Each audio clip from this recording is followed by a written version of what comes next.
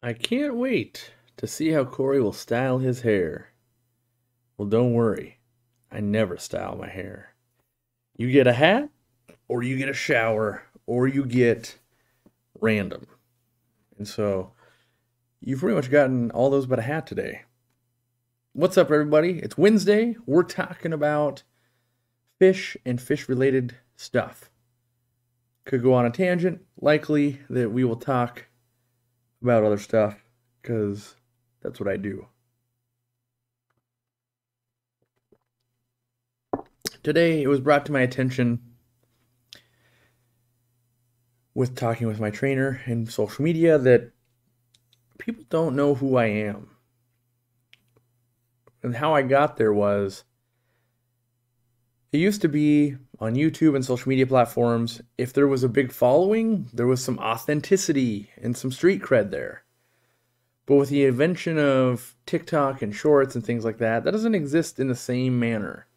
You could have a million followers and be telling lies the whole time and other stuff. And so, especially lately with the whole meta of make something clearly wrong so that people will be outraged and then leave comments and fuel the algorithm.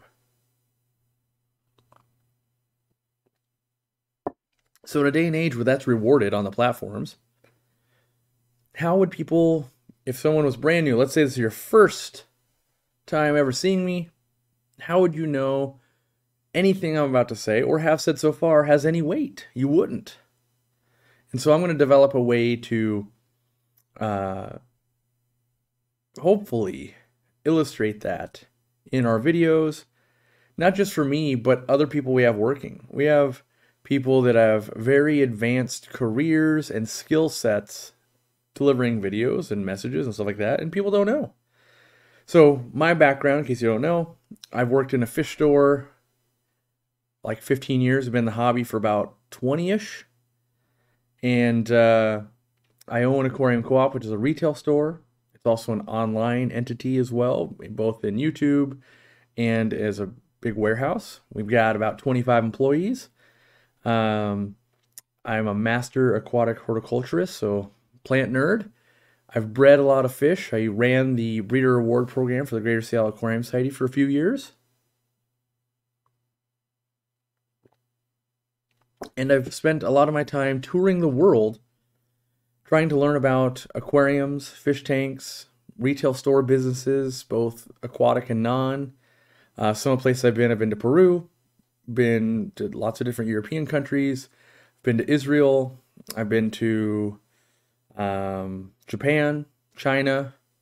I also work in manufacturing, so we actually not not we don't we don't just go, hey, that's a phone. We could put our name on that. We should do that we go, hey, that's a phone, and these are the things I hate. Can we fix that and change it and work with it for years and try to make it better? And then we might end up with an air pump. So we do that too. And these are all the things that have led to my experience on when someone goes, hey, schooling fish stocking ideas or breeding idea for 10 gallon planted tank. How is there any weight to that? Right? Because anybody can answer that question, right? The next person behind you, if you're driving right now, or your person sitting at work next to you could answer that. Could be right, could be wrong, but they could give an answer. So hopefully, the context of who I am and what I've done will give some credibility to some of the answers. Not that my answers are always right, because that's not true, but you might see the point of view where I'm coming from. All right. So 10 gallon aquariums. I have bred fish in 10 gallon aquariums. I've bred lots of guppies and uh, cherry shrimps and things like that for profit. That's a whole series we've done in the past. We slowly update it. We write articles about it too. Uh, there are a lot of fish, especially since nano became popular in the early 2000s, that fit that. We've got lots of lists. Go to the advice center. You can see that. And uh, what I would say is, I, I saw it today in Facebook in our group, which we have a group with you know like fifty thousand people, and someone was complaining about the electricity bill in, I think it was San Diego, and people kept trying. Their their goal was they wanted to breed fish for profit, and they couldn't because it's 85 cents a kilowatt or what, something like that. And uh, they were kind of just they're, they're doing that social media thing I hate where you say, Here's my problem. Someone presents a totally valid answer to that problem. And then the person comes back with, Yeah, but. And then you go, Okay, well, how about this? Is yeah, but. Right. And so this person, uh, they were worried about the power bill. And you could go into like, well, breed more expensive fish, that kind of stuff. But someone suggested just breeding fish outside, get free sunlight and all that. And they said, yeah, but I have raccoons and possums and other stuff that eat it right? And so then I chime in, I go, well, you know, there's lots of ways to make that work. Use screen material, greenhouse panels, old windows from Craigslist. And I kind of went into this little couple paragraph thing that says, in business, which breeding fish for profit is a business, it is your job to find a way to make things work and make it be profitable. That is what business is. You take an idea and you need to make it work. If you just accept the reality or the result that you get you're you're likely to go out of business. And so, being that I have done that, I knew, yeah, you build tops. I've got raccoons, I've got possums, I've got these things, and there are always challenges. But in order to receive a reward, which is money, you need to overcome some challenge. Otherwise, everybody would be doing it.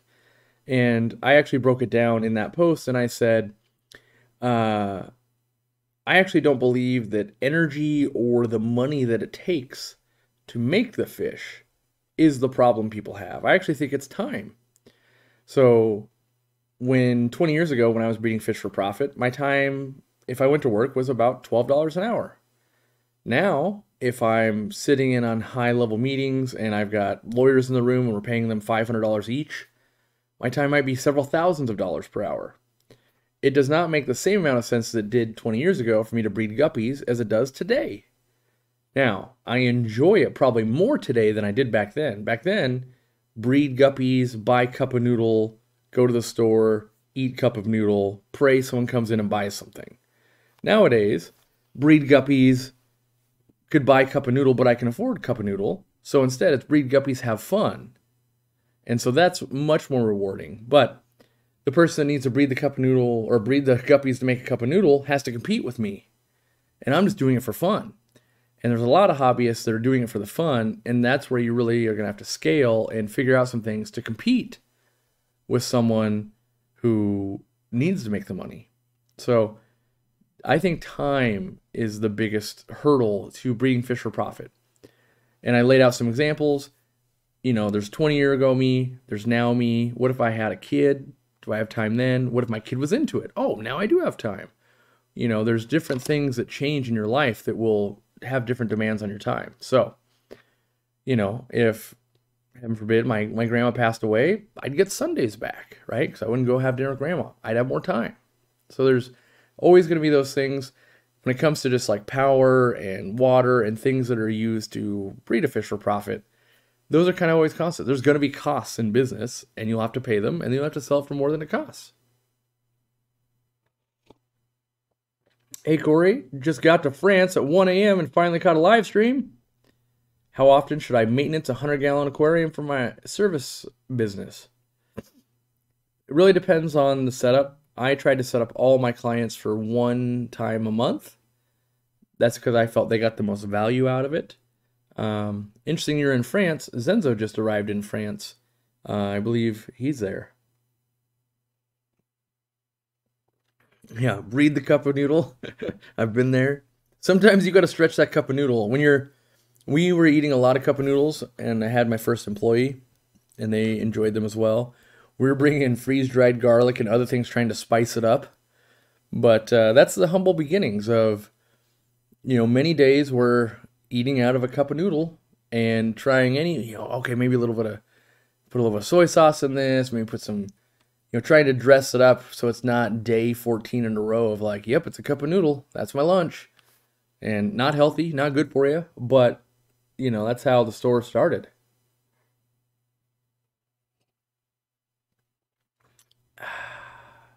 Someone asked how the workouts was working. Am I losing weight? Not really. Uh, losing a little bit of weight, but muscle mass way stronger than I've ever been. Way more capable, flexible um, pretty much everything we do is like on a Bosu ball, so uneven surfaces, and and that, and I have to keep buying larger weights. So clearly, it's working. But uh, in terms of, I, I'm I'm like eighty percent convinced that even though we track food and we, we've done a bunch of things like okay how does corey lose weight and and I'm, i know the internet's on the other side of this camera and the internet goes well this worked for me and here's what you should be doing I, I get it i work with professionals also you know so it's not just you know i'm not just random guy on the internet saying things aren't working and i don't want to be the guy going yeah but yeah but um i honestly think it's stress just from day-to-day work there's always more things, whether it's HR issues, financial issues, product issues. Uh, like right now, a couple hours ago, my my business partner is in the ER. So tonight and tomorrow, I have to do a couple of airport runs. I have to make a delivery to the retail store, because that's what he'd be doing. I have a cargo container arriving on Friday that he was going to handle, but now that's in my lap.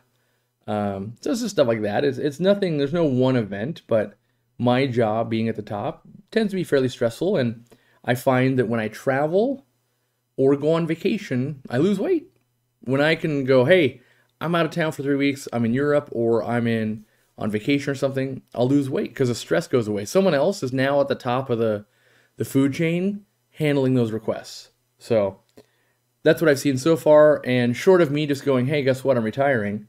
Uh, every day I work a little bit more to getting more off my plate.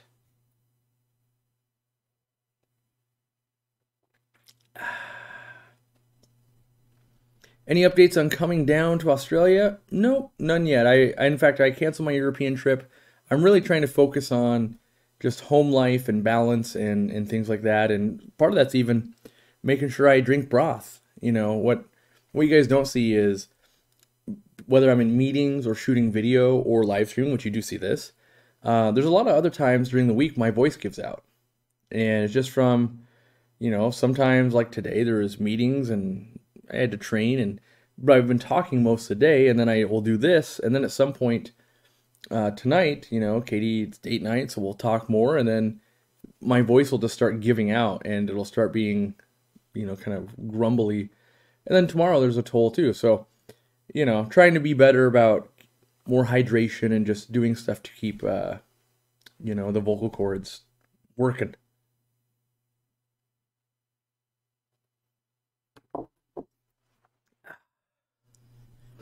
Browning Fawn says, stress eating?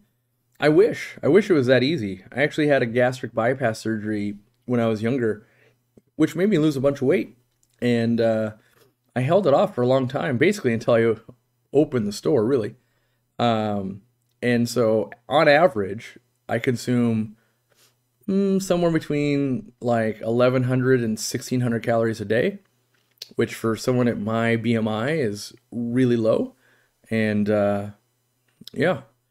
And so it's uh no one knows. I've had blood work done, lots of professionals kind of working on it and we're all trying to see, but the one common theme is stress, not losing weight. Body's in stress mode. You start relaxing, hey, what do you know? Corey's doing pretty good.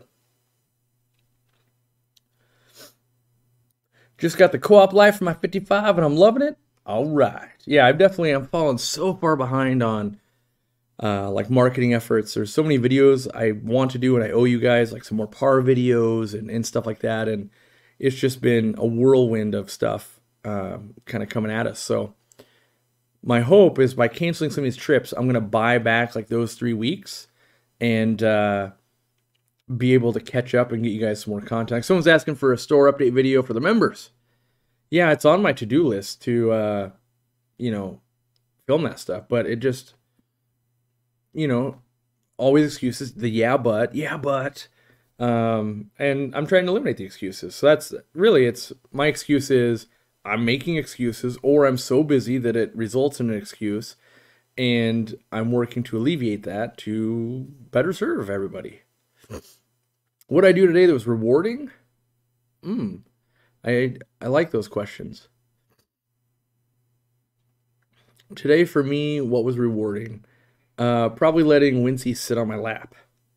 So we were, if we're being 100% honest, my wife asked me and said, I wish you could just skip the live stream and just, you know, take a nap with Wincy there. because stressful events of learning my business partners in the hospital and me knowing that plants start arriving at 12:30 at night and I got to start planning my trips and knowing that we'd already had a full week and we had 4th of July with people over yesterday.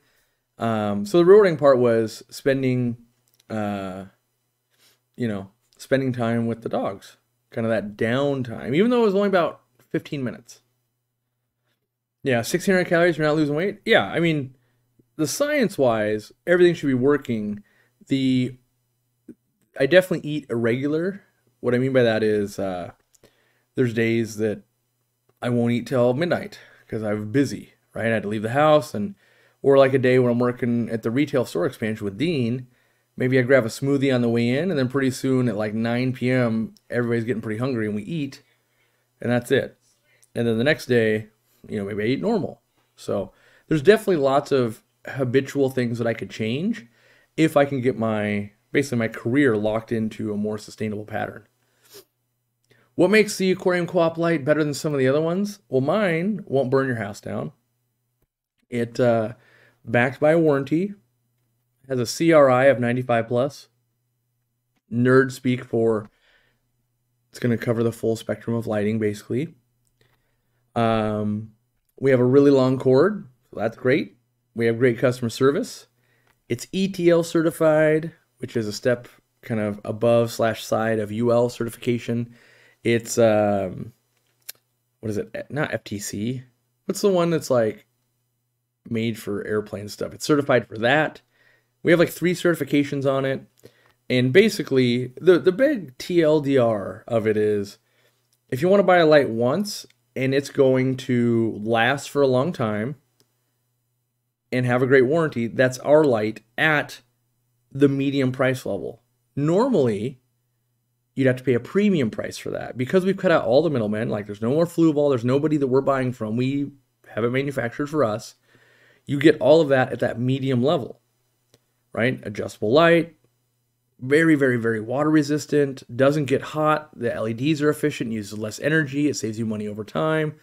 You get that whole package and uh, at what we consider to be affordable price. Whereas Hygger lights and, and Beamsworks and that kind of stuff, they will go for the okay, we need to get in there cheap. We need to give a lot of light and we need to do it cheap. The efficiency is not there, the warranties aren't there, the customer service is not there, the cord's short they're more prone to having problems, um, in my experience, right? And when you read the reviews, and so there's, it, it kind of comes down to time is money. When I was at the beginning of my career, I would buy shop lights from from Walmart and Home Depot, and that would light my aquariums, and it would do it, but it wouldn't look that good. Like it'd be real, real, real, not good looking, and there'd be a lot of light bleed in your eyes and all that kind of stuff. And then you kind of graduate to budget lights from Amazon and you do that for a while. And then as you've been in the hobby for 10, 20 years, you want to buy it once and then 10, 20 years ago, it's still working, it's still great. And uh, you'll learn that, well, if you buy every step up, you've now spent twice as much than buying something that's already good. And being that that was my lesson over my hobby, I thought, well, what if we could always just kind of bring that that level of like, here's where I'm going to settle anyway, and not have the price be way too expensive and try to have it be affordable, and then build a reputation on we build the affordable product that will last and is the moderate choice. So in the car world, I would say, how do we make Toyota Camrys all day long and keep them affordable? That's what I'm trying to do. Whereas, like, well, I want to buy a Ferrari or I want to buy Sure, that's out there. Go buy a Twin Star Light for $700. That's fine. We're not marketing to you, and you want something we don't do. And uh, yeah, so that that's basically the pitch is our light should be completely affordable and do everything you need to do and be reliable. Which all lights will claim that, and it's you really only get to prove that stuff. It, it's it's like hiring somebody, right? You interview them, like, oh, you'll always be on time, you'll always stay late, you're always gonna be smart, everything's going to be great. But then over time, you learn what really happens. Like, oh yeah, they're late once a week, and oh, they wouldn't stay to help out, and or or they are. And that's that's how kind of all products work. Is you'll know in a year whether you had the right decision or not. And uh, some people work out great, some won't. Got a 300 gallon Americans, South Americans, tank to feed. They eat so much extreme, it's getting expensive. Any cheaper but quality alternatives? I was thinking about Hikari. I do like Hikari foods a lot. I do agree, and you've heard me talk about this a lot, that I think Extremes food is overpriced. Not not willingly by them. I think they're having to pay a lot, and I think there's been inflation and all of these things, and I think they've had problems in bringing the cost down in line where I think it should be. But uh, yeah, I think Hikari is a, a, a decent alternative. Um, I, I, would like to think that when we end up launching our foods, we're still in testing and all of that. Um, you know, we'll we'll be that you know we'll be that Toyota Camry middle of the road for everybody. But I don't know, you know, and we won't launch it until we are. And so right now, when if I was feeding lots of big fish, I wouldn't want to feed low quality because I it just becomes too much waste. I'd probably be shopping deals, honestly. I'd be I'd be looking at like, hey, has anyone got Southern Delight on sale? Is there I, I'd probably be trying some different like Amazon type bulk foods or eBay type bulk foods, which like I've got some of that for my koi right now, and as the reason I went to the koi is it wasn't very good. Um, but no, it, it, I don't have the the one metric I would say when you have a big aquarium or a lot of aquariums, the one metric I've always used is I believe it shouldn't be more expensive than buying frozen food. So if you can get a pound of let me let me look at my store because I don't want to misquote. And I know a lot of other stores watch me, and so I want to be more accurate um, with my own store. Let's see where a frozen pound of bloodworms is for us. What we retail it at.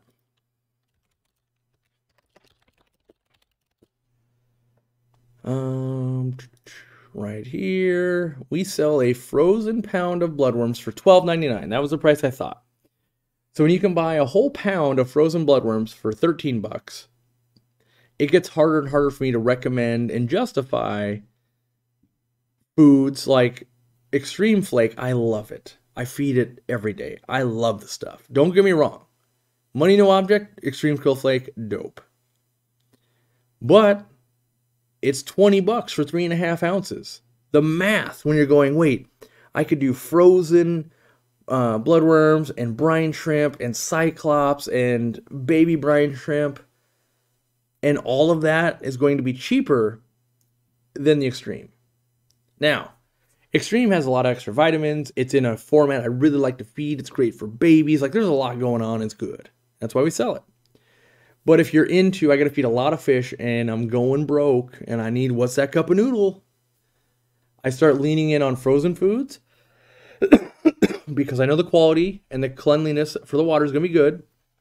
And I would start buying in bulk. And so I don't know if we have anything going right now because I don't manage the store, but it used to be if you'd buy at least 10 at a time, okay, they're 12 bucks a piece. You start buying massive amounts where I pre-order for you, you you give me the money, I pre-order, I can give you a better deal. If you walk into our retail store and like, I want 30 of them, we only have 35, that doesn't help us because we still have to have a bunch to sell to people. But if you prepay, we order a week later, they're here, and we go, hey, we got 70 of these things for you. That'll save money. We do that with Dean. Um, so yeah, I would I would use high quality frozen foods, and then I would pair it with some more of the filler foods, and that's what I would be doing, honestly. I, I know there's people that feed like hot dogs and other stuff to their big Central and South American fish, but the nitrates are in there and it leads to be so messy that I, I'm not a huge fan of that. I still want to feed a good quality fish food to my fish. I want to be able to afford it though, and it does get hard, especially with big fish. I mean, we're feeding so many clams to Ladybird and Murphy, and those are those are big expenses. And we look at other foods but the reality is, you got to do what's right by the animal. And so it's our duty to do that. And for me, sometimes that might mean I need to downsize. When you have 100 clown loaches and they're getting big, maybe you got to sell some off so that I can afford to feed 30 big ones instead of 100 with 30 big, you know, 30 medium and 30 smalls. That doesn't equal 100. That's only 90. I know. That's, that's live stream math for you. Your fry food is a staple in my tanks. Yeah, I, I so the fry food I like. I think personally, this is my own product. I think it's a little expensive in the squeeze bottle because squeeze bottles have gotten stupid expensive. But the fry one pound bag, I think, is fairly affordable in that realm. Like Ladybird and, and Murphy eat a pound of food like every two to three days, where that wouldn't make sense when a, a thing of fry food is 30 bucks. But when you're feeding, like if that pound of fry food lasts your guppy, you know, your little guppy fish room eight months, that's great. That's a good value, I think. So, yeah. Welcome, Caleb Shirley, new sub. Boom. Northfin, I find Northfin to be even more out of whack than Extreme. So when I was, because if you've been in the hobby for like 20 years, you, you see these ebbs and flows, right? When I was first getting the hobby, you weren't keeping fish right unless you were doing New Life Extreme, right? Or New Life Extreme, New Life Spectrum. It's kind of a funny slip. Those companies are so close together in terms of formulations, but New Life Spectrum. And then it was, and Hikari was always kind of a mainstay. And then it was, I think it was Northfin. And then for like a, a millisecond, so it's going to be funny. You guys are going to watch this play out, right? New Era has signed with Fritz, New Era Fish Food. I had meetings with them probably six years ago now where I was trying to bring on my own food and wanted to bring it to America, and it was just proving to be too hard. We weren't big enough to really place big enough orders and all that. Their food is great. I do like it quite a bit. It's it's not hard. It's a you know it's a uh, a moist pellet. It's got a lot of moisture in it. So now Fritz is partnering up with them. They're getting it into a lot more uh, public aquariums and zoos and things. And I think what you're going to see is that's going to be one of the next booms. Is uh, is new era foods. And rightfully so, they're good. But then they're going to peter off, and then another boom's going to happen. And throw in whenever the aquarium co-op, you know, whenever we do our own foods, throw in there is a boom for extreme. And with Northfin in general, um, I find that like I'm just I just googled it, and so on Amazon we're looking at Northfin cichlid pellets or let's say krill. Well, that, now it's going to look like I'm skewing it, but krill pellets. Um, come on, work. My internet's like broken here. It won't click. I don't know. I was trying to go to chewy.com, but Northfin, here we go. Northfin premium cichlid food. It is one pound is 1723. And I will maintain this forever that it becomes I, I, I meet it with uh suspicion when I'm like the prepared food with fillers is more expensive than pure foods. You know, that's sometimes there's a little bit of trickery with dry weights and wet weights and there's things like that, but um that's where I feel like we our prepared foods on average should be cheaper than pure foods because I just that's what I believe. That being said, making flake is difficult. Making very tiny pellets can be difficult. Um, the run of the mill cichlid pellet not that difficult, but yeah. I was under the impression New Era is unable to sell to retailers in the U.S. due to some sort of lawsuit. I know they had issues with their distribution distri- distributors in Florida. Uh, yeah, I'm not exactly sure about all that. I mean, I feel like if that was the case, just rebrand it. Be like, hey, it's fish food four, and then like good food doesn't really matter what the name is. Julian says legit is also pretty pricey. I got a deal on some while back, and though my Cory seemed to like Oh, and my Cory seemed to like the pellets. Don't wrong, I like Mike, you know, but I think his food is overpriced. Do I think his food is good? Yes. I try to always give merit, right? So if I think the product is good, I will say that. If I think it's overpriced, I will say that. And so I've I've maintained with him, I go, I think it's scale that's holding him back. If he could sell 100x the t- amount he's selling, he could lower the price and then it would automatically sell. It's like that chicken and the egg. And part of it is who do you want to be as a consumer? There are times when I spend way more money.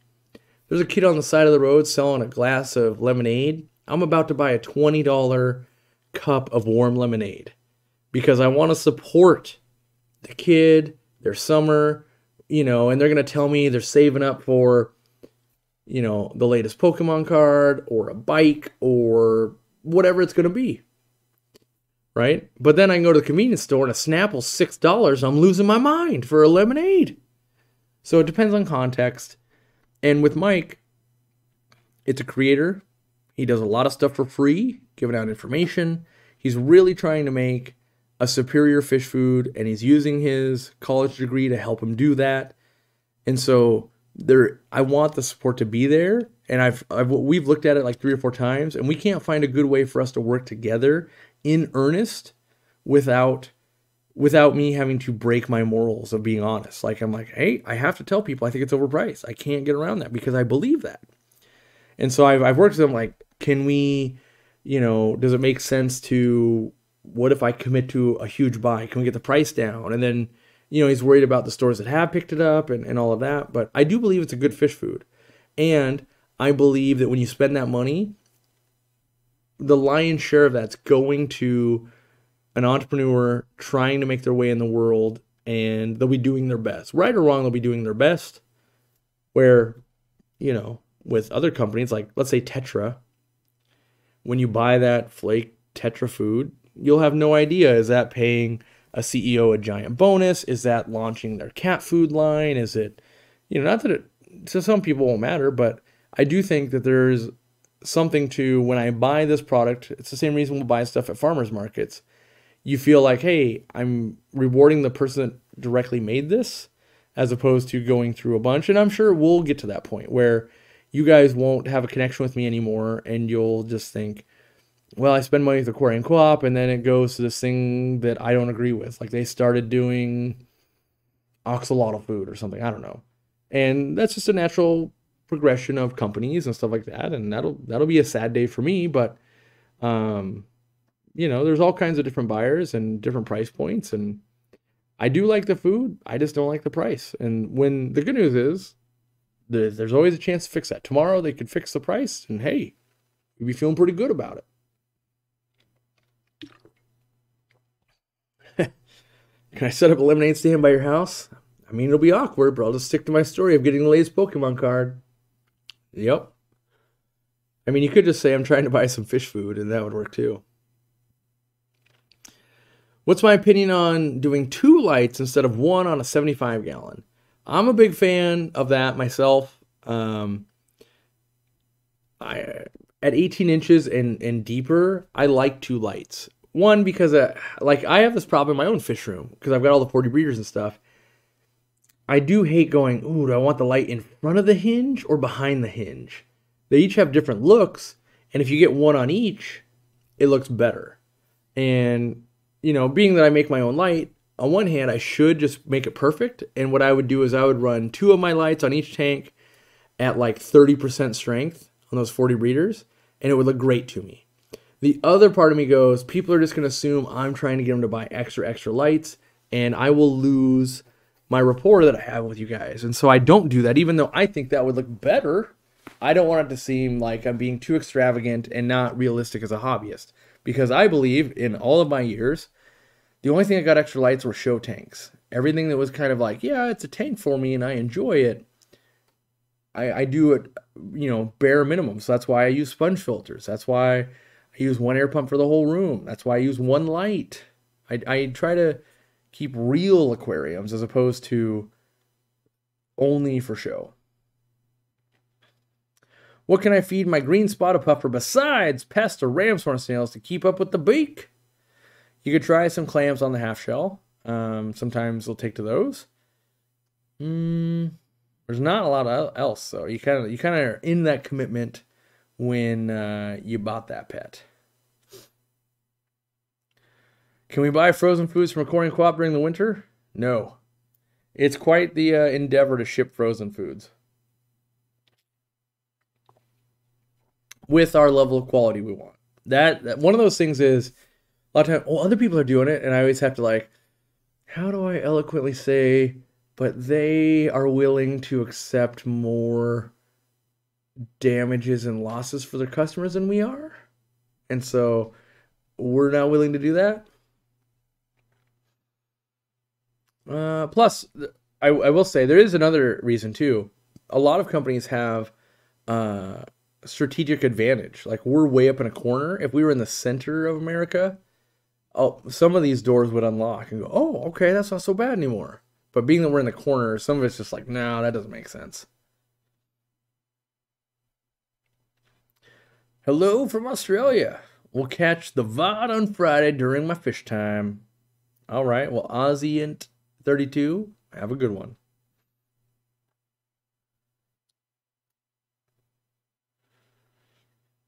Uh, so for the 75, should I get two 24 inch and I get get one to go on each side? Oh, I would. I was talking about four footers. So I usually do like one four footer on the front and one towards the back, but not at full intensities. Not unless I was really, uh, you know, really injecting that CO2 and trying to do some hard stuff. So, yeah. Hmm. What's the best beginner to live food to culture? I was thinking about daphnia or blackworms. Both of those, in my opinion, are crazy hard to produce any amount. The easiest, in my opinion, would be vinegar eels. Order up a culture for like five, ten bucks. You'll keep them going forever and a day. Hmm. Well, oh yeah, I was gonna mention that uh, yesterday some guests saw that we had koi in the pond, and I go, "What? I haven't seen koi in years." And sure enough, I go sit there for a while, and I saw at least three. So the eagles, the bald eagles, have not eaten all the koi, and I've now my passion or my interest is a little more, um, you know, revitalized in the pond project. So I'm hoping to kind of Maybe I'll put my shubunkins out there. Maybe I'll get the auto feeder that I'm meaning to do get set up. I want to get some power to there still, but we got to finish the retail store first. So, how many times do I repeat ICX after no more spots? I personally do one additional treatment and I let it sit. So if I saw no spots today, I would dose it once more and just let it sit until my normal water change period. That served me well over the last 20 years. Uh, any siphon recommendations? I bought one on Amazon, but it made cleaning my tank a fiasco. In my opinion, the only one worth investing money into currently is the Python system. It's green. They have great uh, like tubing. Not all tubings are equal, and you know there are parts that I would upgrade and fix for that company, but you know, when you ask me, what's the thing you pull off the shelf? What does Aquarium Co op sell? We sell Python and we will sell Lee's. So if I was buying online, I would look, well, let me do that right now. Let me do the let me do the search comparison on Amazon. And I would tell you which one I buy. I've used both for many, many years. So Python Gravel Vac. Let's say we want the 25 footer. That's the most common for people. Let's find a 25 footer a 25 footer looks like it runs about 55 bucks. And if I do the Lee's gravel vac,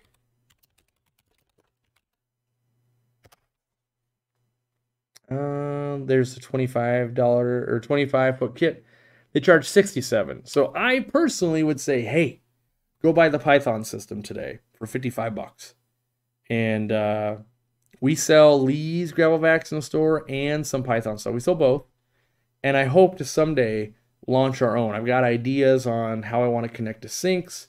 I've got ideas on how I want the connectors, how long, the tubing, all of these things, but we haven't found the right partner. We were looking when we were in China, but we have not found the right partner yet.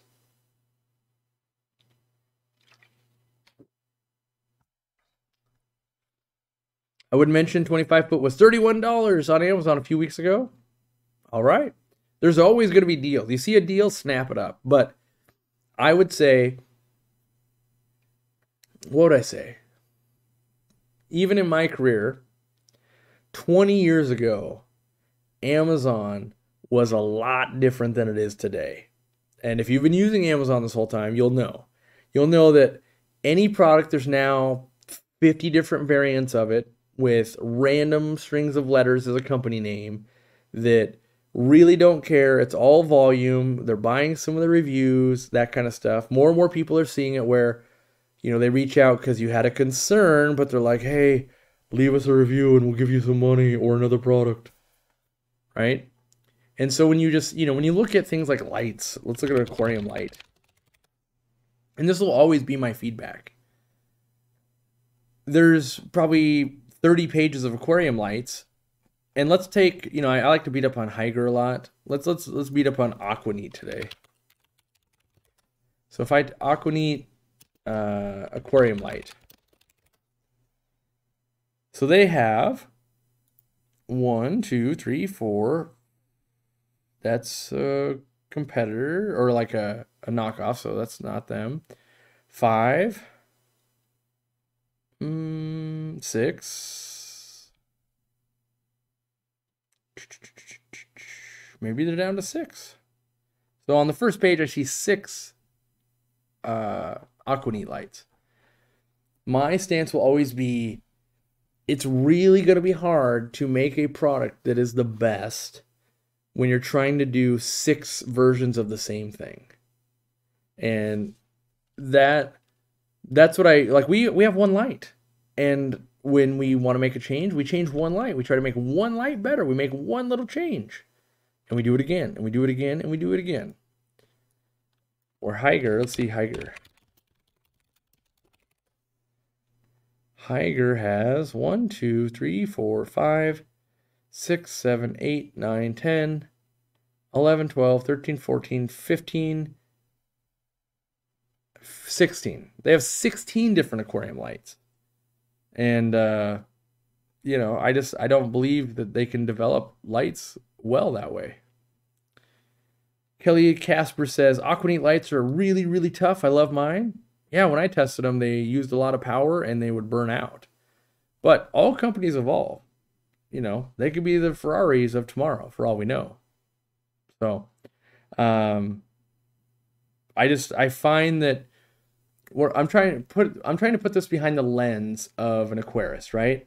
So you you see someone they go, I love my Aquaneat or I love my Light, and you show up and you go, okay, well, which version? There's 16 versions here and you read through them and there's people talking oh this thing was melting down. This thing was great. This one got water. This one didn't. And then you need to further refine it like oh was it a planted tank? Was it a saltwater tank? Was it just a fish only tank? And you run into a lot of it. And so it's hard i find when you know so for instance the this light i'm looking at it's okay it's 12 inches right it does 633 lumens at 6500 Kelvin, and I don't think the average hobbyist will know what any of that really means. So I don't think that actually helps them. So then they just start looking at reviews and and uh, you know little videos and stuff. But I don't think that helps. It helps some, helps some more, but I'm not sure it's going to help them find the product they need. And so my philosophy is let's just make the easiest plant light. And when you go, yeah, but I don't want to, I don't want a plant light, then I go, great. There are all these other companies that should help you do that. Uh, but we, we want to help you grow live plants. And so we're developing a system to help you do that. So if you need to do that, we're really good at that. You want to do something else, we're not set up to do that. We're not a company that's going to launch like even Fluval. Fluval had let me let me go to Fluval because we sold their lights. How many lights does Fluval have?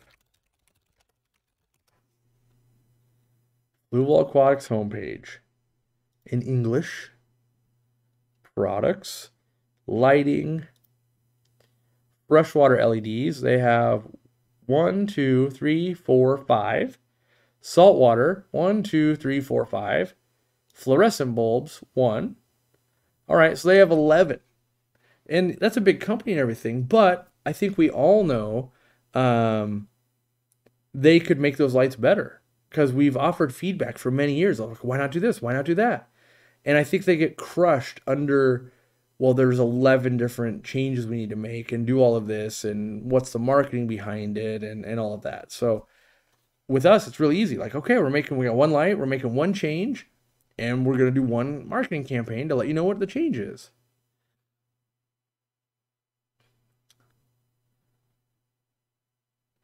I have dropped my Aquaneat light many times, but they keep going. I breed and need a lot of light. Not planted though. Yeah. You know, the, the, the caveats I'll offer to people are how much energy is that using? So check on that. You might be like, oh, it uses none. Great. Is it UL rated? Like, will, if that light does go faulty, will it void your insurance? Like there, there's you know, there's things to you know think about, especially as you're breeding for profit, right? So if you're breeding fish for profit and it burns down your house, insurance is going to look at that in multiple ways. Going, you running a business? You didn't tell us. Oh, the thing that caused the fire wasn't UL rated. There's going to be multiple ways for them to get out, and you're going to be in a bad spot. So try to have very few ways that that's going to happen. Not everything you're going to use is going to be UL rated and everything, but try to make sure it's been a product that's been going for a long time and limit your exposure where you can.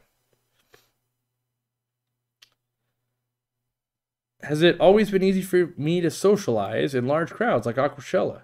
Is there an opener that you found works for majority of the time? Mm, no, I, I in community college took uh, what was that? That was uh, public speaking, and I was terrified, terrible at it. Um, and to this day, I still get very nervous speaking in front of large crowds. But it's easy for me to talk to people one on one because I know that if they're watching me with any kind of capacity, they're just a fish nerd.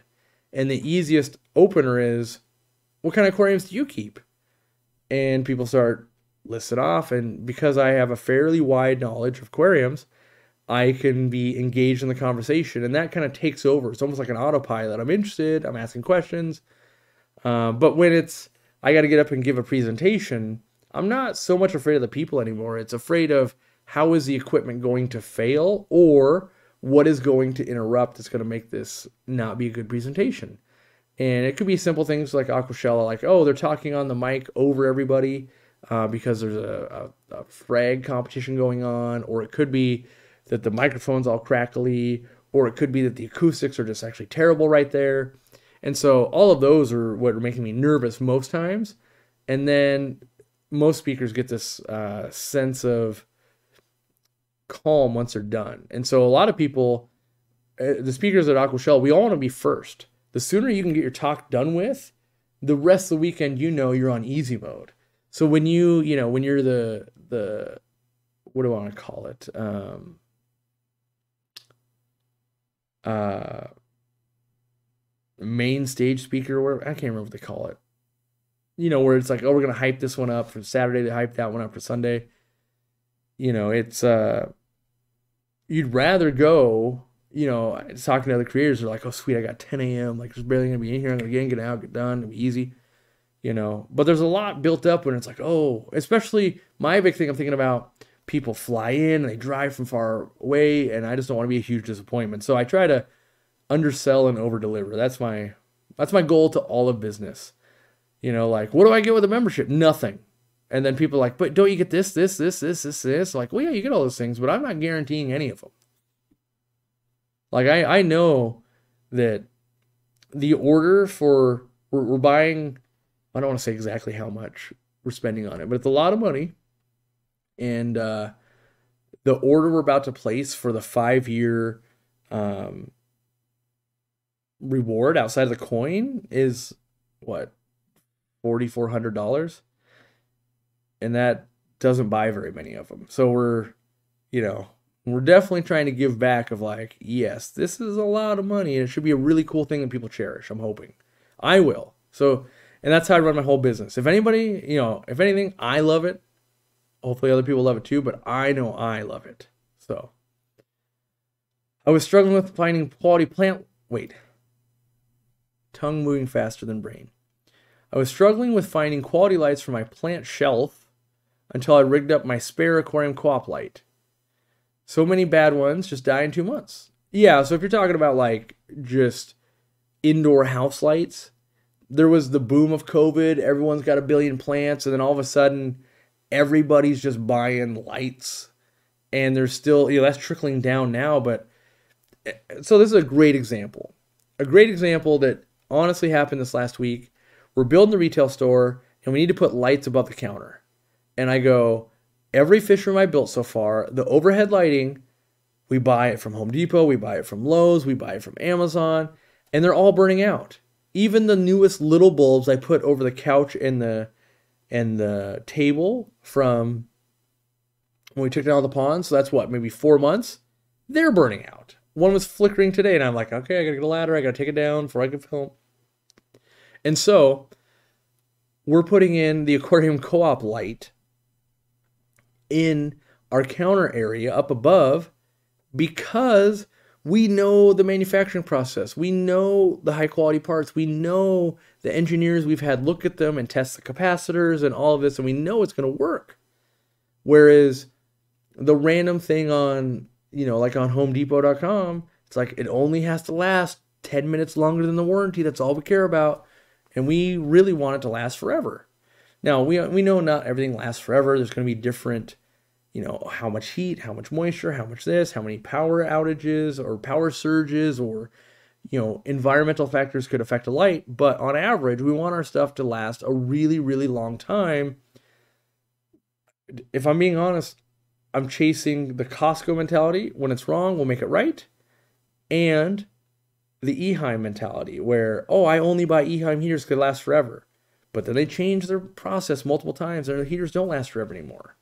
And so when you see greatness, I latch onto that and I go, yeah, we're just going to do that. It's going to take a long time for us to get there because Eheim built that reputation over, you know, 30 years. We're not going to build it in only 10, right? But the starting building blocks of that is something like a light where five, seven years from now, that light's still working and you need to set up another aquarium, you're probably going to buy our light. Where right now, everyone's still going, well, what's the difference between your light and this one that's cheap on Amazon? And I can't say, well, like in five years, our light will still be standing because like, I haven't done the testing. For all I know, Hygger will be, and Aquaneat, all those will be standing there too. Now, that being said, in my testing and watching people's fish rooms and all that, a lot of them go bad.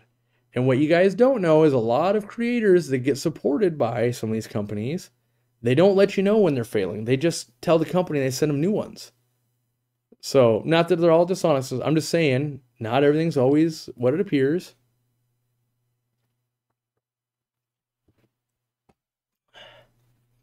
We do the same thing, by the way. If someone has a problem with a product, we send them a new one. We don't tell them they can or can't tell people, but most times when you send someone a new product, they're happy with it and they don't want to say bad things. But I encourage everybody be honest. We're not trying to buy a good review here. None of that. And it's because I if our products suck, we need to know and we need to make them better. That's that's the reality of it. And I call this I call my company out on all the time. One of the instances I was using our Catappa leaves and I was not happy at the price. So now we sell 20 Catappa leaves for the exact same price. Why? Because I wasn't happy with it. And do we make as much money? No, it's not good. But I don't want you guys to judge like, well, their Catappa leaves aren't a good price, so I'm sure their light sucks. Our light is amazing. And I don't want other products to drag that down. And so if we need to make no money on leaves, fine. But, you know, the the things that were really like I can't I can't meet with the manufacturers of leaves and make a Catappa leaf do something crazy. It's just a product. You know, it's just like it falls off a tree, someone flattens it the best way they can. They try to make them uniform shape. They try to make sure they're clean and all that, and the package, that's all we can do. But when it comes to lights and the crazy stuff we're starting to do with sponge filters and some of these other things, sky's the limit. And now that our our resources, we're being able to reinvest them. Like there's a whole redesign of the power head I want to do, and and now these companies see us for someone who will work with them long term. They're willing to do more things that they wouldn't do before. Before they'd be like, you can buy what we have, we can make minor changes. Now, when we go, hey, we want to do something completely new, they're open to it instead of, well, you got to start with something we're already doing, and then we can make a few tweaks. Is there a way to get CO2 easier? I used to get it from a local brewery shop in my town, but they closed. Uh, look into like a local paintball store or like a Big Five Sporting Goods. Um, both those, the brewing stores you had mentioned, and then we get ours from like a Central Welding. Here's here's the thing to know.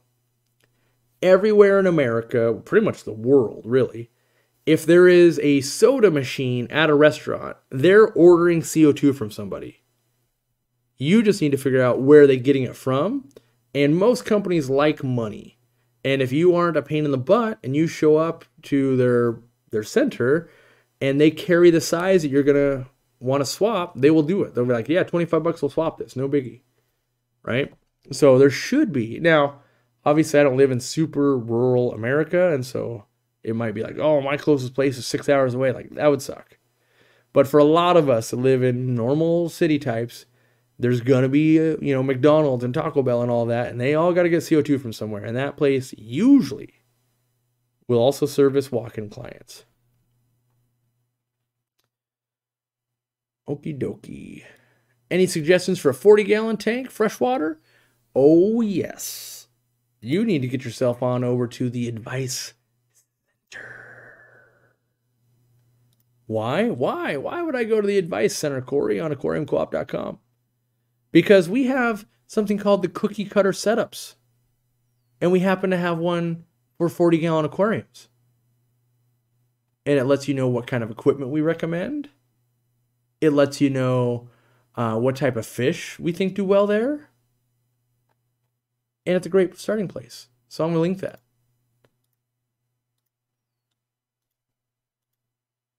Boom. Someone asked if this is a gaming mouse. Yes, kind of. This is just a Logitech G403 with uh, enough gamer grunge on it. I don't know if you can see that. You know how I know when I'm truly a nerd? You've got stuff over here and you're like eating Cheetos or what's something else that I don't know, some kind of food, but you're using the mouse because you're gaming and then you like look down at your mat and you're like, what have I done? This is disgusting. So yeah, I call it the gamer grunge. But no, I've got I've got all these other mice. Like yeah, there's a SteelSeries one there that my mom got for free, and uh, I just never hooked it up yet.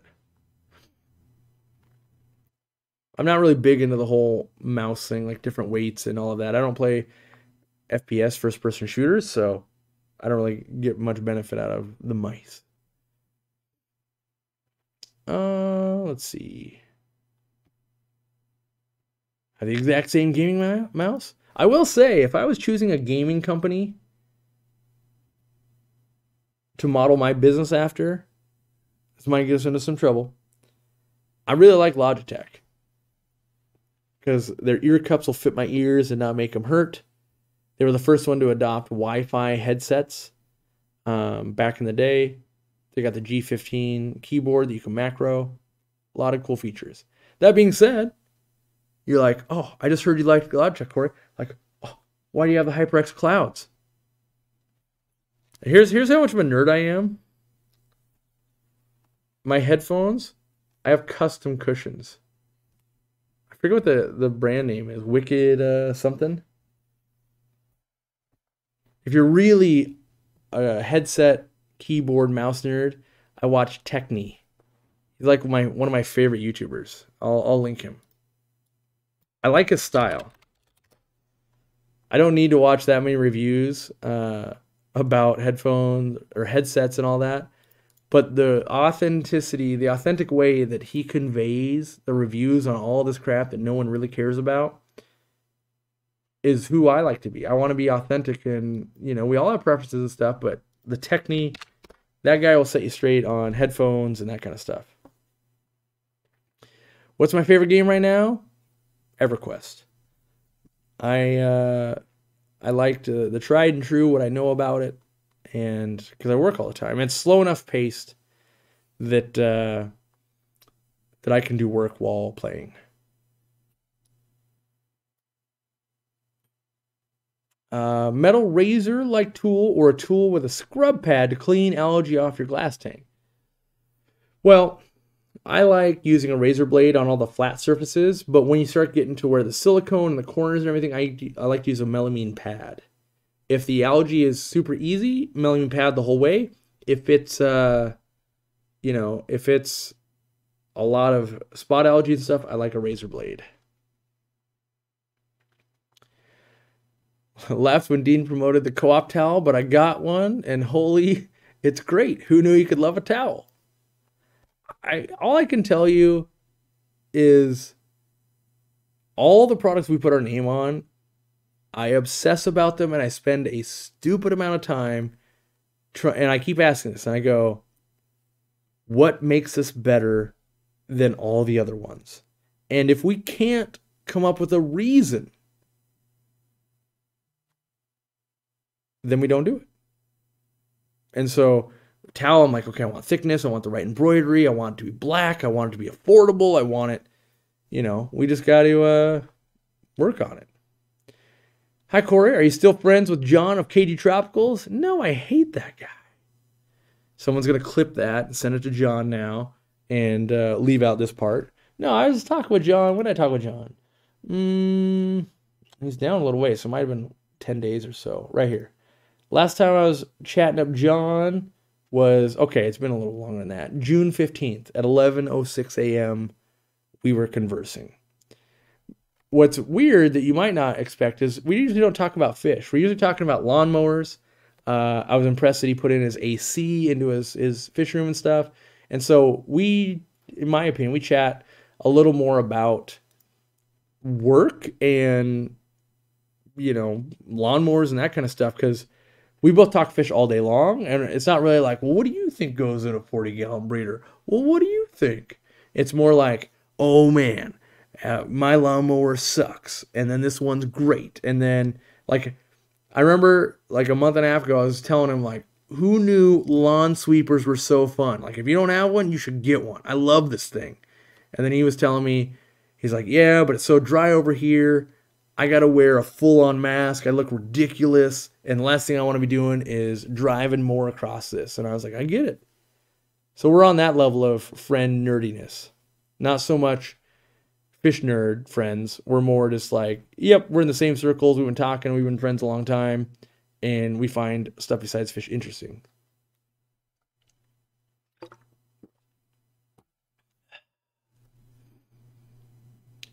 Any tips for getting that last bit of brine shrimp eggs out of the tin? It depends. Are you going to reuse that tin? What you what I've done in the past, you've got your Ziss brine shrimp hatcher you got a little bit of eggs left in there. Just get it in there. So, and I'll have another batch ready. So, what I do is like, oh, there's only a little bit left. Kind of get it in there and get the eggs out. And then take your fresh one, get another amount and add it to it. Like, if you've got a bunch of eggs in there, if you just put your thing in there, it's just going to get stuck on it. So, you got to do it like rinsing it kind of first and then add more to it. Maybe a dumb question, but do you guys go to Aquashella? My first one will be in November in Daytona and the Clash in September. Thanks, Mike B. We've done, I don't know how many. I've probably done six Aquashellas, five or six. So we have done a bunch. Uh, are we going to this one? No, we're not currently signed up for it. Um, yeah, they're the the TLDR of it. They're highly disruptive to our workflows. We have to get a lot of people, get a lot of moving parts to do a show, and it slows down releasing new products, filming schedules, and all of that. And so right now, I'm laser focused on getting the retail store done, launching some new products, getting ahead on video content, um, you know, training training people, working on company culture, all of that. And so traveling takes our focus off of that and we're we're tired of that. So um, we're just taking a break.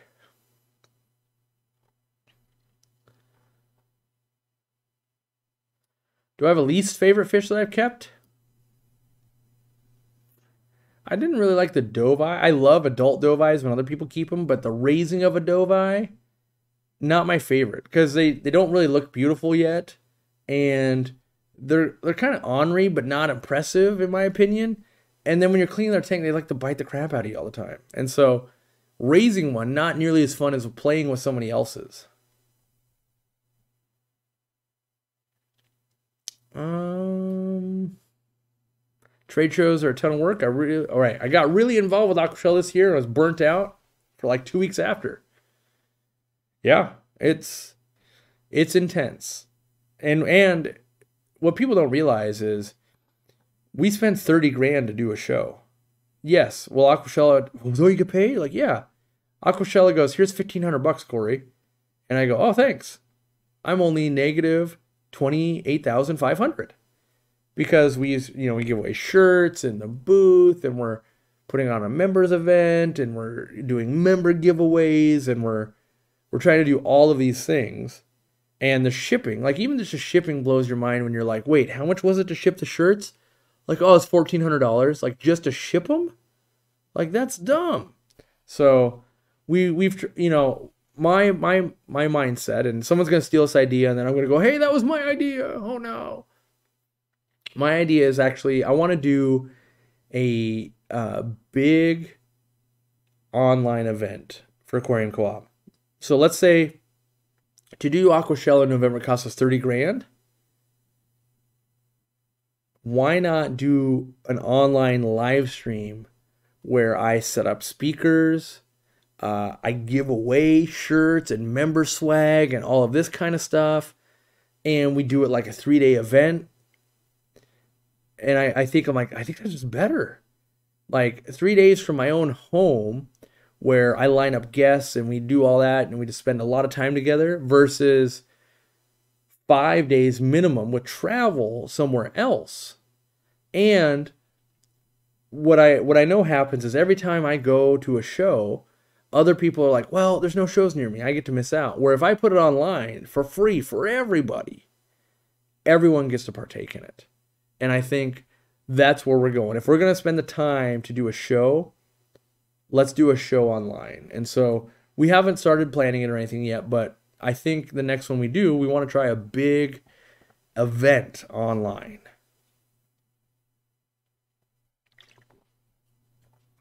Please settle the debate. I just bought a 55 gallon at Petco. Are they terrible? The bad reviews are flooding in, and I'm so worried about the tank splitting. I'm making sure it's level. Please help.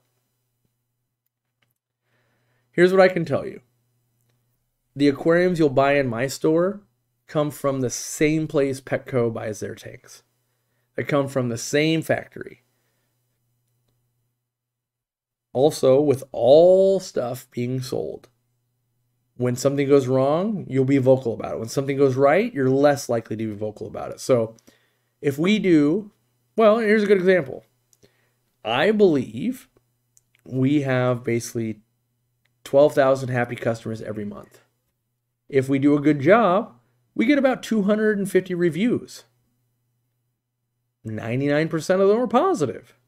If we do a bad job, if we have 10,000 angry customers, guess what? We're going to get 5,000 bad reviews.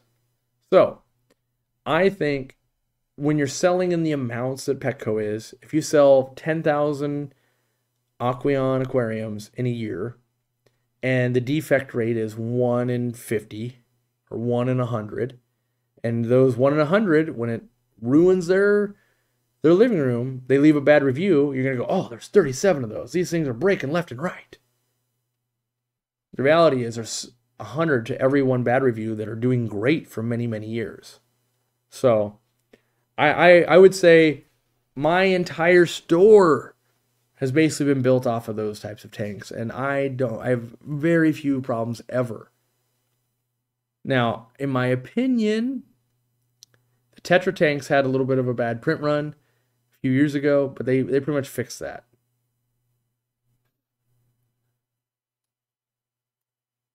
I'd absolutely come to your online show and have my wallet open and ready. Yeah, well, and there there is some things to work out. I want to give away like 10,000 shirts, but 10,000 shirts plus shipping and all that would cost hundreds of thousands of dollars. So I want to try and do it where there's ways to win them. Maybe it's trivia, maybe it's random, maybe it's uh, you place an order and you can get one, maybe it's, you know, just try to find a way where when I plan an event like that, how do we make sure the seven year old can participate, the 70 year old can participate, the rich, the poor, the in between, the super nerd that knows everything about aquarium co op, the person that just met us yesterday. I want everybody to have a good time. And so you got to mix it up. I can't have someone speaking to, you know, fin ray identification the whole time when you're new to the hobby. I got to have all that. And so I got to create an agenda like day one is this, day two is this, day three is this. I want to, in my, my plan is to have, uh, Zenzo run it and then I'll live stream a bunch and then I'm going to say, "Hey, I'm going to the store." And then you guys can come visit at the store while we're live. We do some stuff there and then we head back home or we go out to eat. And so maybe while I'm driving, Zenzo puts on Chris Lukhaup and he's talking about shrimp. And now I'm at the store. And now I'm doing a Q&A with you guys live at the store and doing that kind of stuff.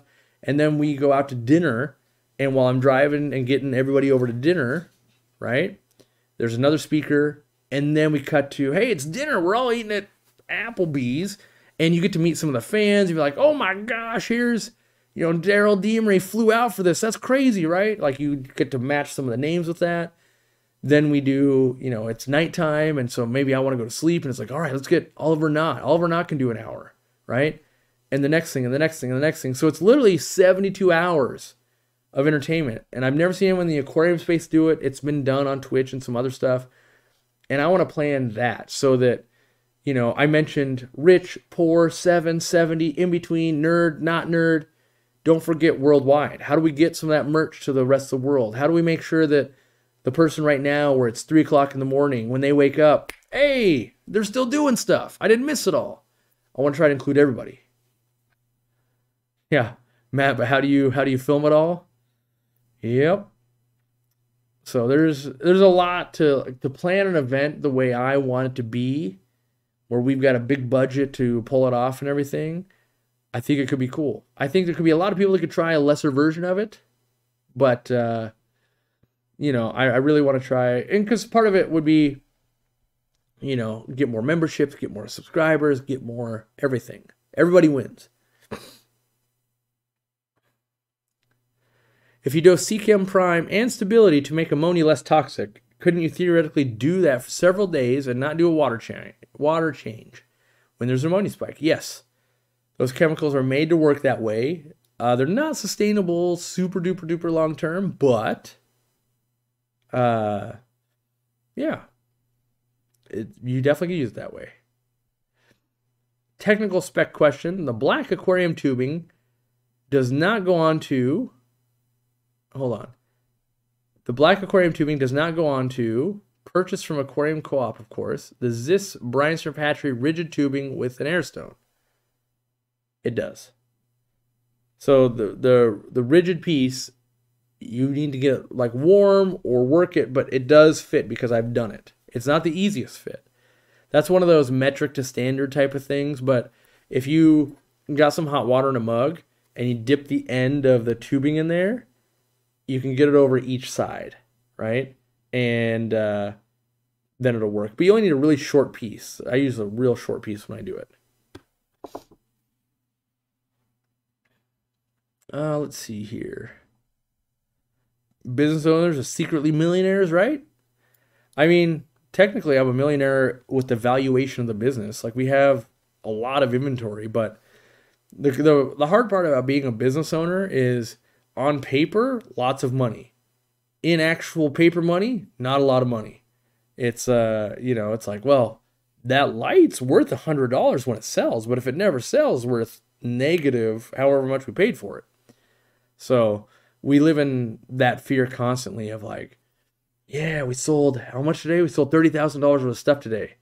We just placed a two hundred thousand dollar sponge filter order. Like, oh my gosh, so it's it's hard to watch the wire transfers going out. You're like, you know, when we bought when we brought on regulators and it was like, oh my gosh, hundreds of thousands of dollars. I hope they sell.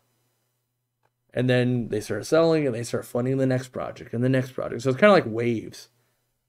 The next wave funds the next product that funds the next thing. Uh, and a lot of times, it, it uh, lines up for us. Not always so. How important is iron to plants? Pretty darn important, but not so important to the amount people dose iron. A lot of water already has some iron in it. Easy Green, right? Already has iron. So many people buy Easy Green and iron for just like normal setups. Like you only need to dose iron if you need more iron than what Easy Green is already supplying, which not a lot of people need.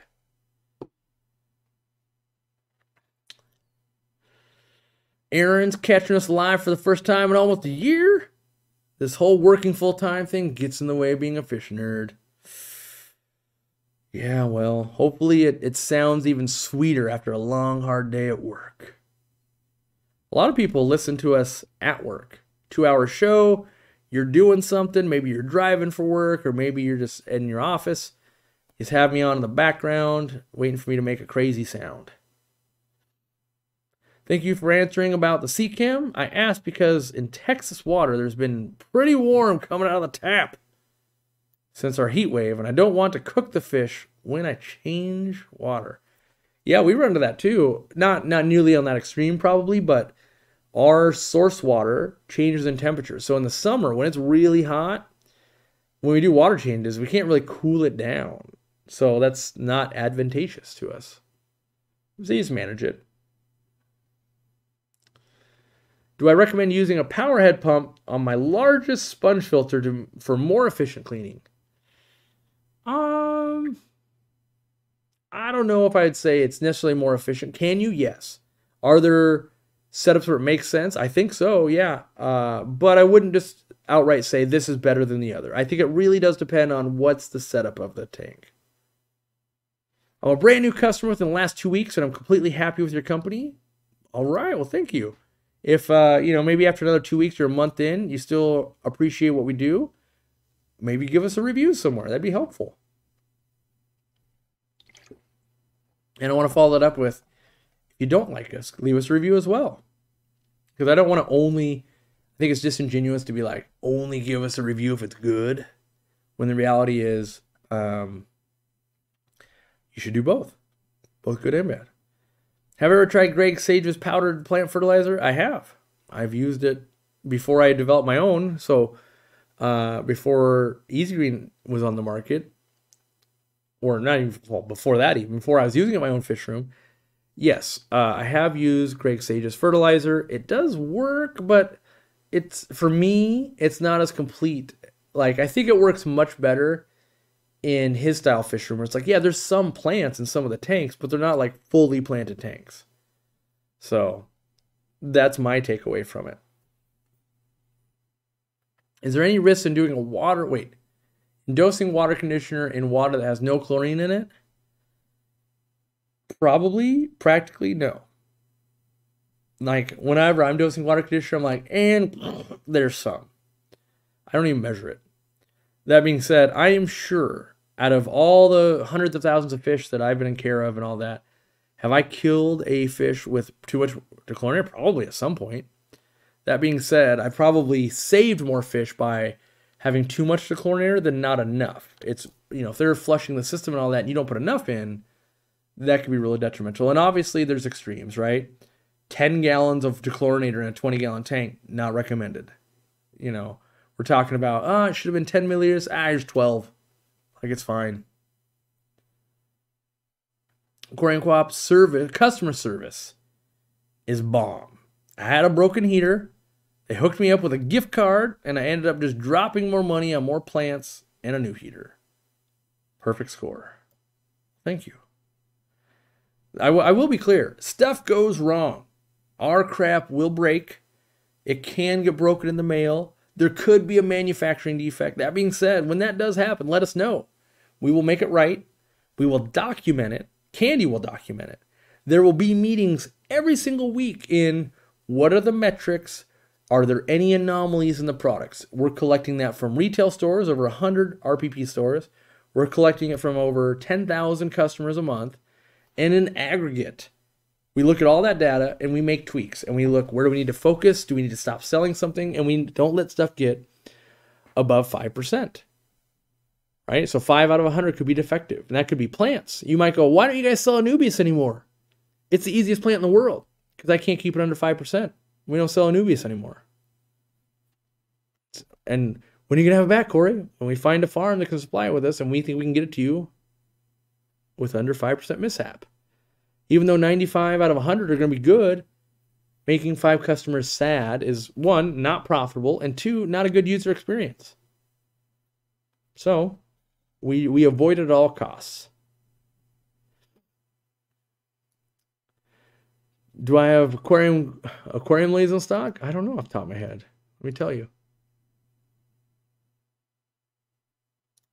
The survey says I've got tiger lotus bulbs and we have dwarf aquarium lilies. Go, go now. Buy, buy them all.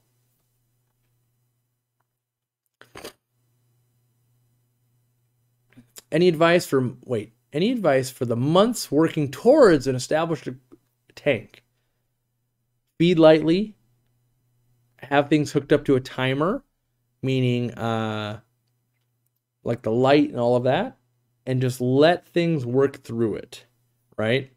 There's metabolisms on all the plants, all the fish, all that kind of stuff. Bacteria, you need st- you need time for it just to do what it's going to do. Candy is better than AI? Yes, I am very anti AI customer service.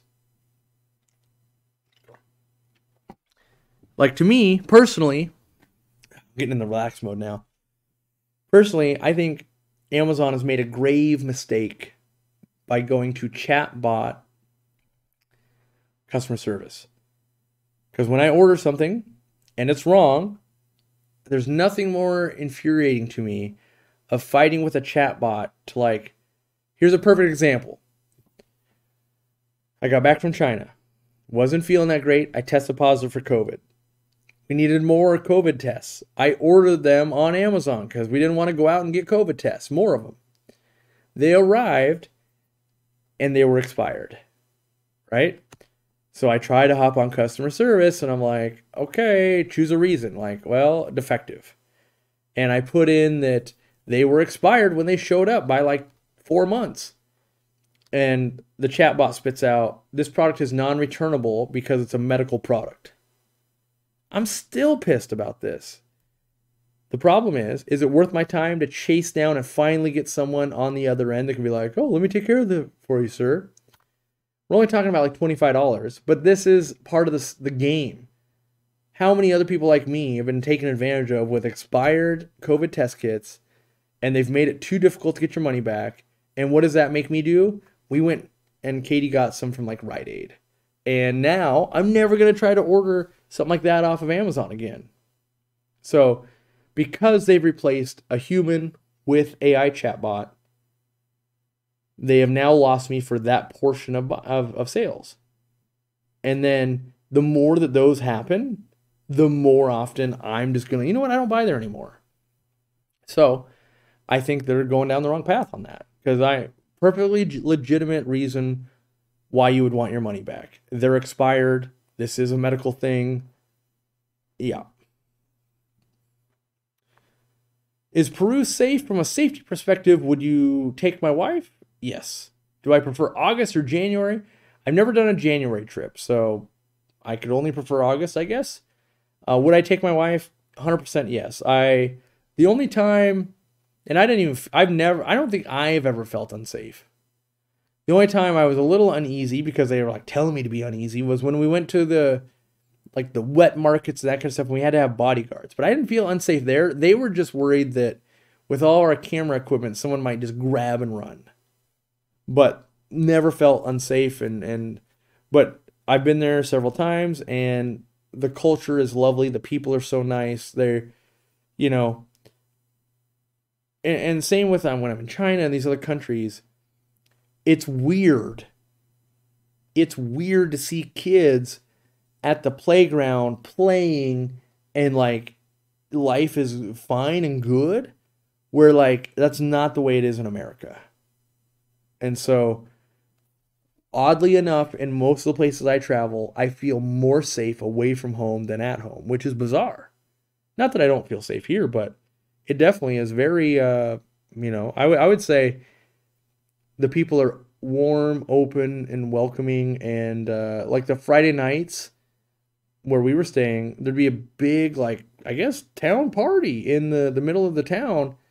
And there'd be people like, oh, would you like this baked good that I made? Oh, you want this drink? You want this? Like, not even alcohol, just like drinks. So everybody, it, it feels like it's a big block party potluck every Friday night and they're so welcoming. They're like, "Hey, you need to try this. I know you haven't eaten this. Try it." They're like, "Oh my gosh, I don't speak that language, but mmm, really good."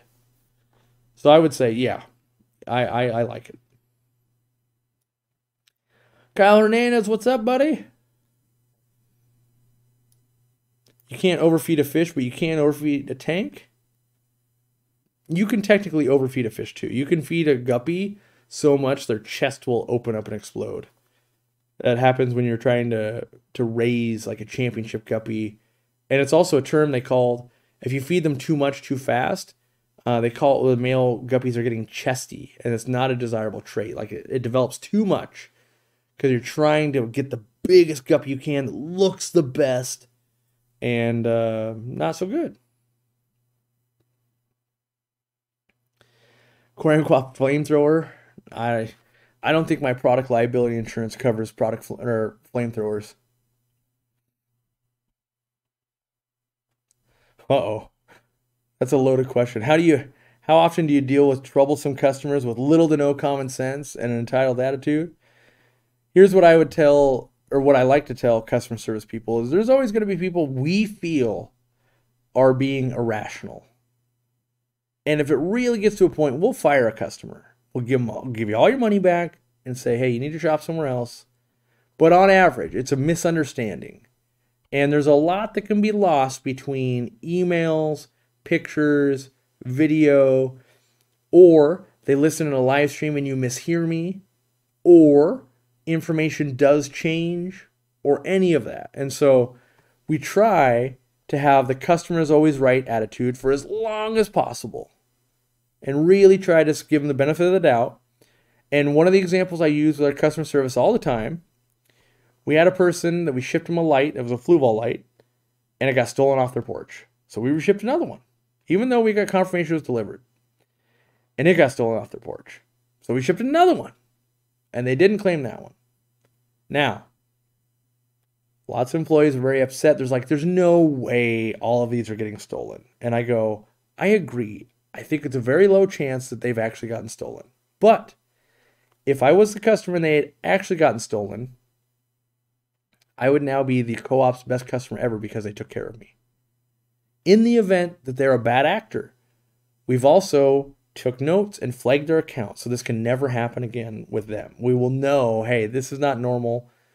And when we have to fire them as a customer, we're not going to say that they're stealing from us. We're going to say, Unfortunately, too many things are stolen off of your porch, and we're losing way too much money. We can't serve you anymore as a customer. We wish we could. And that's how that goes. it's really easy when people, you know, get racist or uh, just start hurling insults at the employees. Because then we just we give them their money back and we fire them, and you know, it people we've had people come back like, but it's the only place I can get X, Y, and Z. And we go, we know. But you weren't nice. Uh you weren't nice to our employees. Like a lot of people forget that it's a two-way street. I have money, I'd like to buy something. The company would like to sell me something. If I'm really not a nice person, they may not want to sell me anything anymore. It's not always just a monetary transaction. There's there's more to business than just money. And so usually it's respect and money that goes hand in hand. Customers like that and businesses like that. And so when you when one of the respect things is broken down, then the money thing usually breaks down too.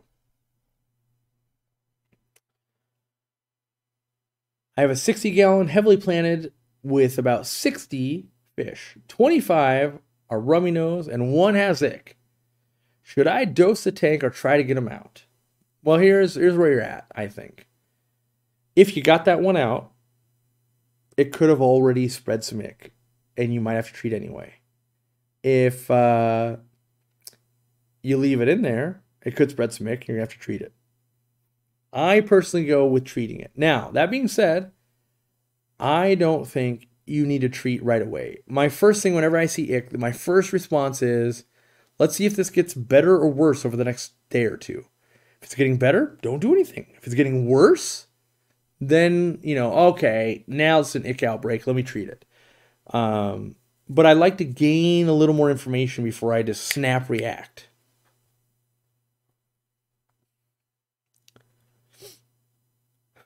this is true. True story, Corey. I've had doctors fire me. Only one, only one I regret though. I mean, the reality is when two people don't get along, it usually doesn't make sense to force it to work. You're, you know, and with a doctor, like you want a doctor that likes you because they're more likely to help you.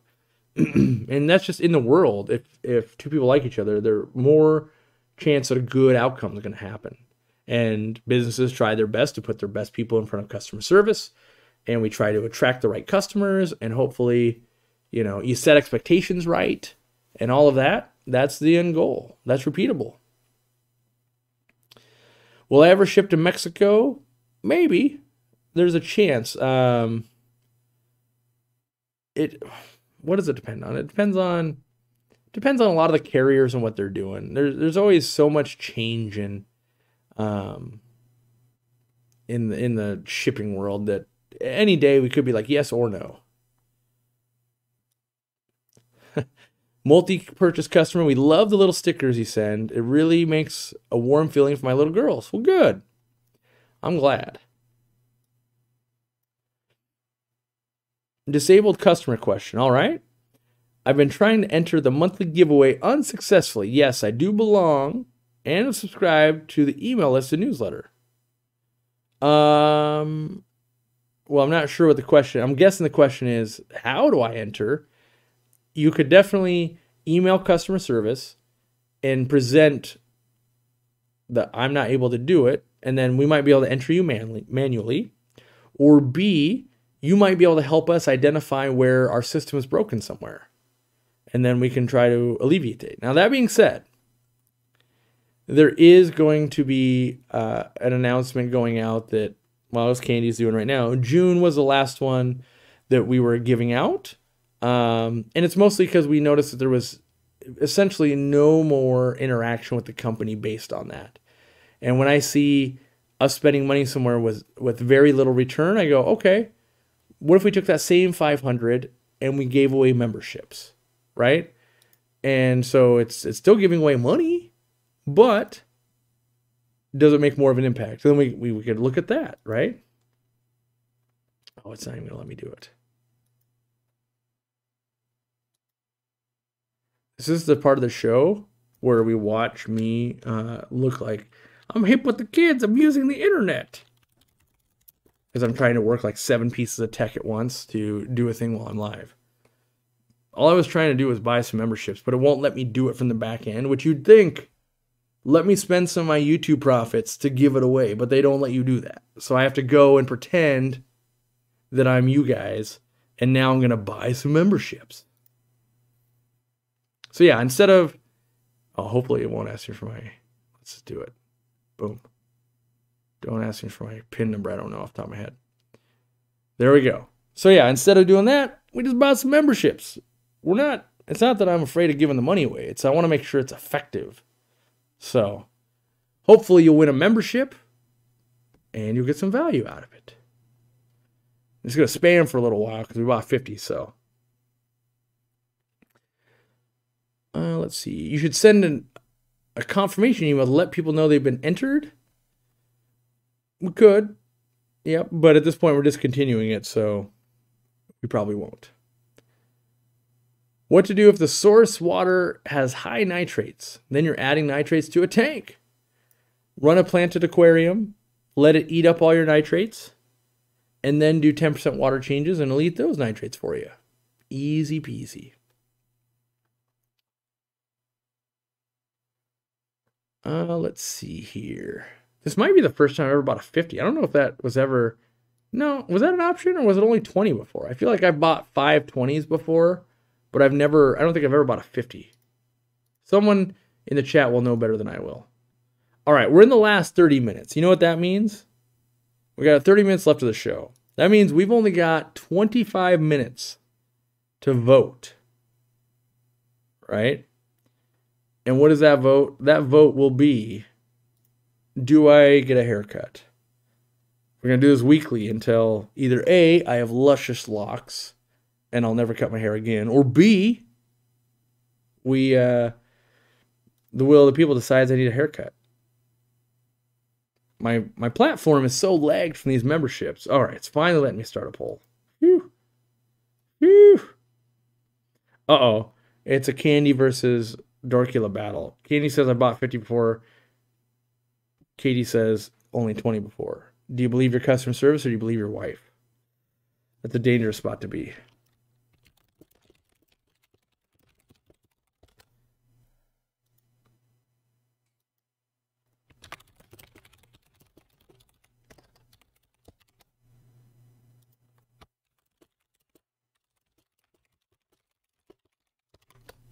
All right, here's the poll.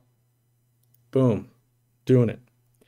Which plants should I order from you for my new five gallon Neocaridina shrimp tank? Oh, what's this? Let's see what that. Okay, good. Uh, I would do. I really like crypts, and someone asked me earlier what's my favorite crypt, and I like Crypt Wendtii Red a lot a lot, a lot. I also like Crypt Lutea a lot. So, uh, fill it with crypts. It'll be easy. You won't have to trim it all the time. A lot of root tabs. I likes it. Add the option of coloring my hair too. Yeah, but then it's maybe like we we could we might be able to get into like maybe if it shows that a cut happens, maybe we'll choose what type or color or something. You know, we'll see how it goes. By the way, if you just got one of those new memberships or you're thinking about joining, there's lots of membership only videos where we hired speakers who are good at their profession or their specialty, whether it's breeding corydoras or killifish or knife fish or their aquatic vet or you know all that kind of stuff. That's all in a catalog you can you can watch. So, you know, make sure you do while you got your free month. And then if you like it, if you like it. Maybe you consider staying a member. Do I have overnight shipping or plans to implement it? Uh, I have considered implementing it. Right now, we don't have the space. We would need to set up another, um, like priority shipping station, and we're just out of space at the warehouse. So if we get a bigger warehouse, we could implement it and then my here's my fear, the overpromise under deliver. My my fear is that you'll pay a big amount of money for overnight shipping. We'll get it out the door wicked quick because we always do. But then there's going to be a delay by USPS or another carrier, and we will look bad. Because what, what will happen, because I've seen it happen in the past, I paid for overnight shipping. I'm so angry. I needed that medicine yesterday. My fish are all dying. You're horrible people. And where if we don't offer that option, you still won't get the med that quick. But we don't get the you're horrible people for something we can't control. So if we if we do some testing, we always like to test, and we feel like it's pretty reliable, and there's under five percent of the time it won't get the overnight we could implement it. But right now, strategically, being in the corner, the overnight thing only makes sense if you're close to us. If you're far away, there's no way it's going to make it to you overnight. So, likelihood of larger volumes of Easy Green being added to the co op site? Slim. We used to sell it up to a gallon, then it was two liters. It ends up just being we're unintentionally um, basically fertilizing people's mail because it gets dropped off the back of the truck. You know, Ace Ventura kicked onto the onto the roof, and they just break. No matter how much we've tried, like six different caps. We've tried bubble wrapping it. We've tried taping it. We've tried a bunch of things, and uh, none of them work. So we haven't found the secret yet. And a lot of people say, oh, other people are selling them, and I go, yep. and how many of those people are tracking it. And there's a big difference when you're like, well, you sold three gallons last month. It's like, oh, we sold 3,000 gallons last month. Like a lot of people would want it. So right now, we only offer the bigger size to our retail partner stores, but we ship it in a certain way that's not profitable. And the RPP stores, they pay the shipping. So yeah. Corey's hypothetical customer customer voice. I, I can't think of what it is, but I do know I make voices all the time. To tell you the truth, a mustache. Katie, Katie hates it when I wear a mustache. Like if I grow a beard and then I cut it down to something, she, well, loves and hates. Like it's, I think the correct term from Katie is creepy. It's so creepy.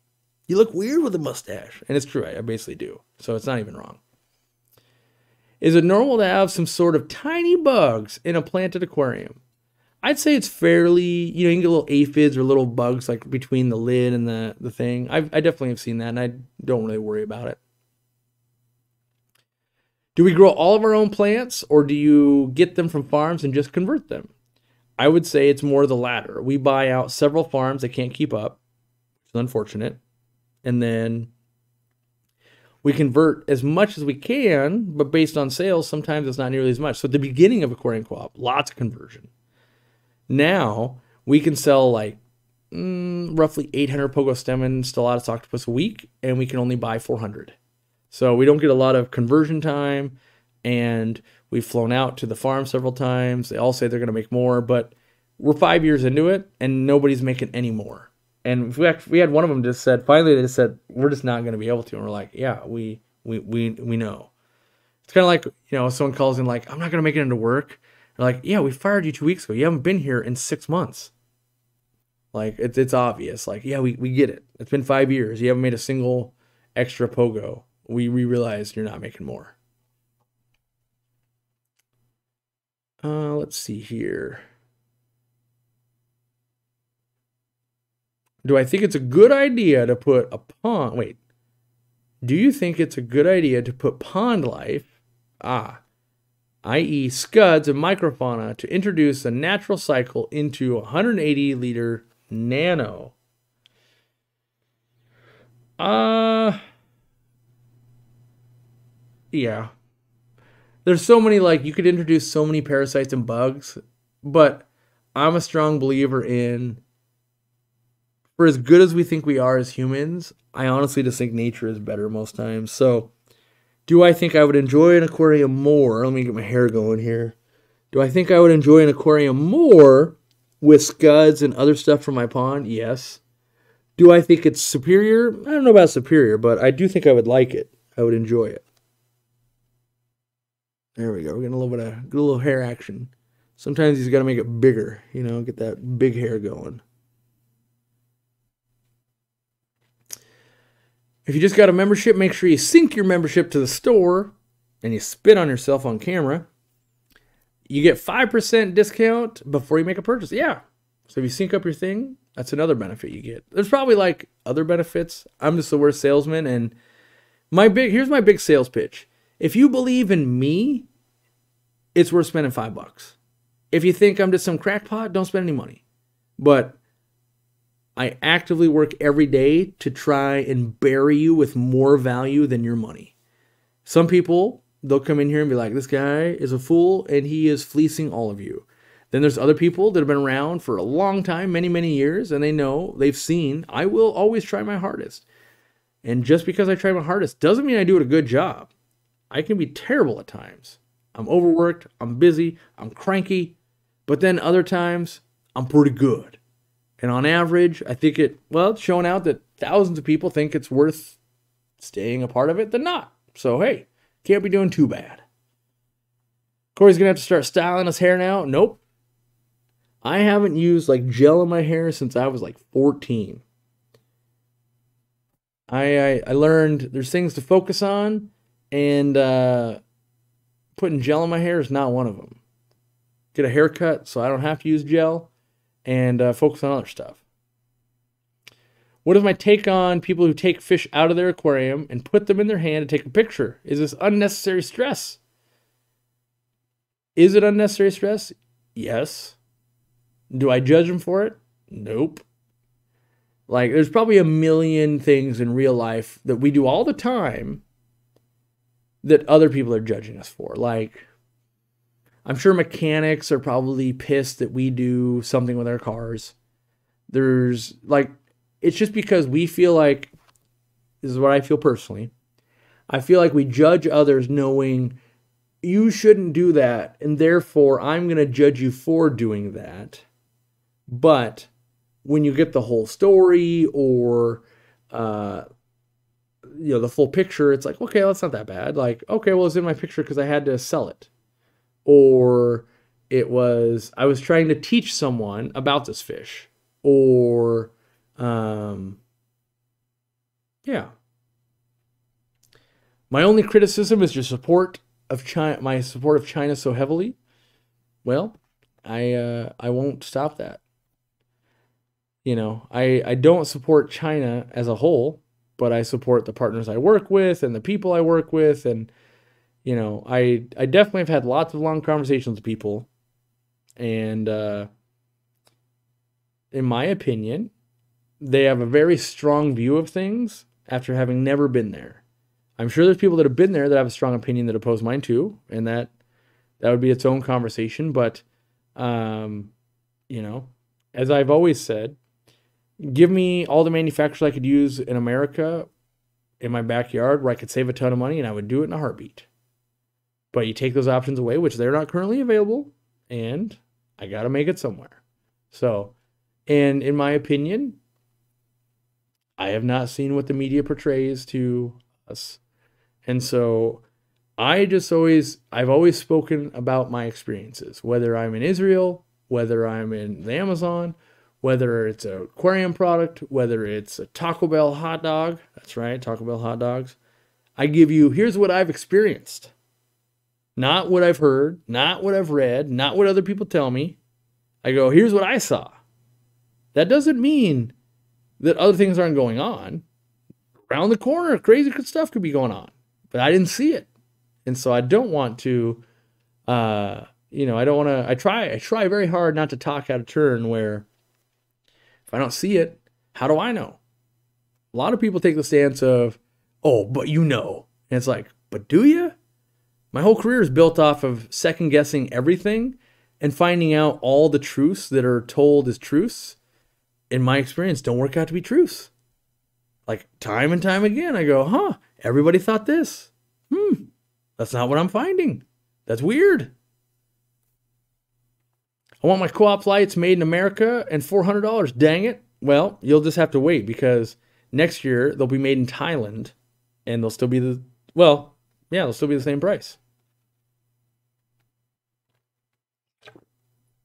And so that's what I wonder about people that will bring up uh, those types of things.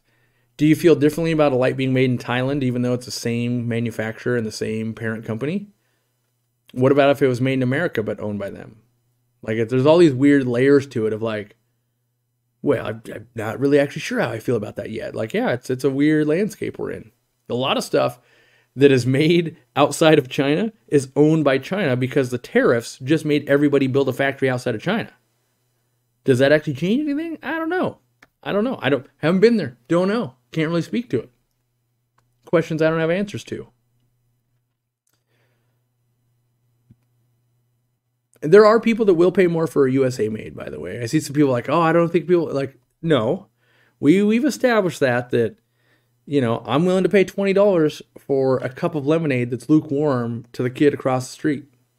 There are there's demographics and and buyers for everything. So, right?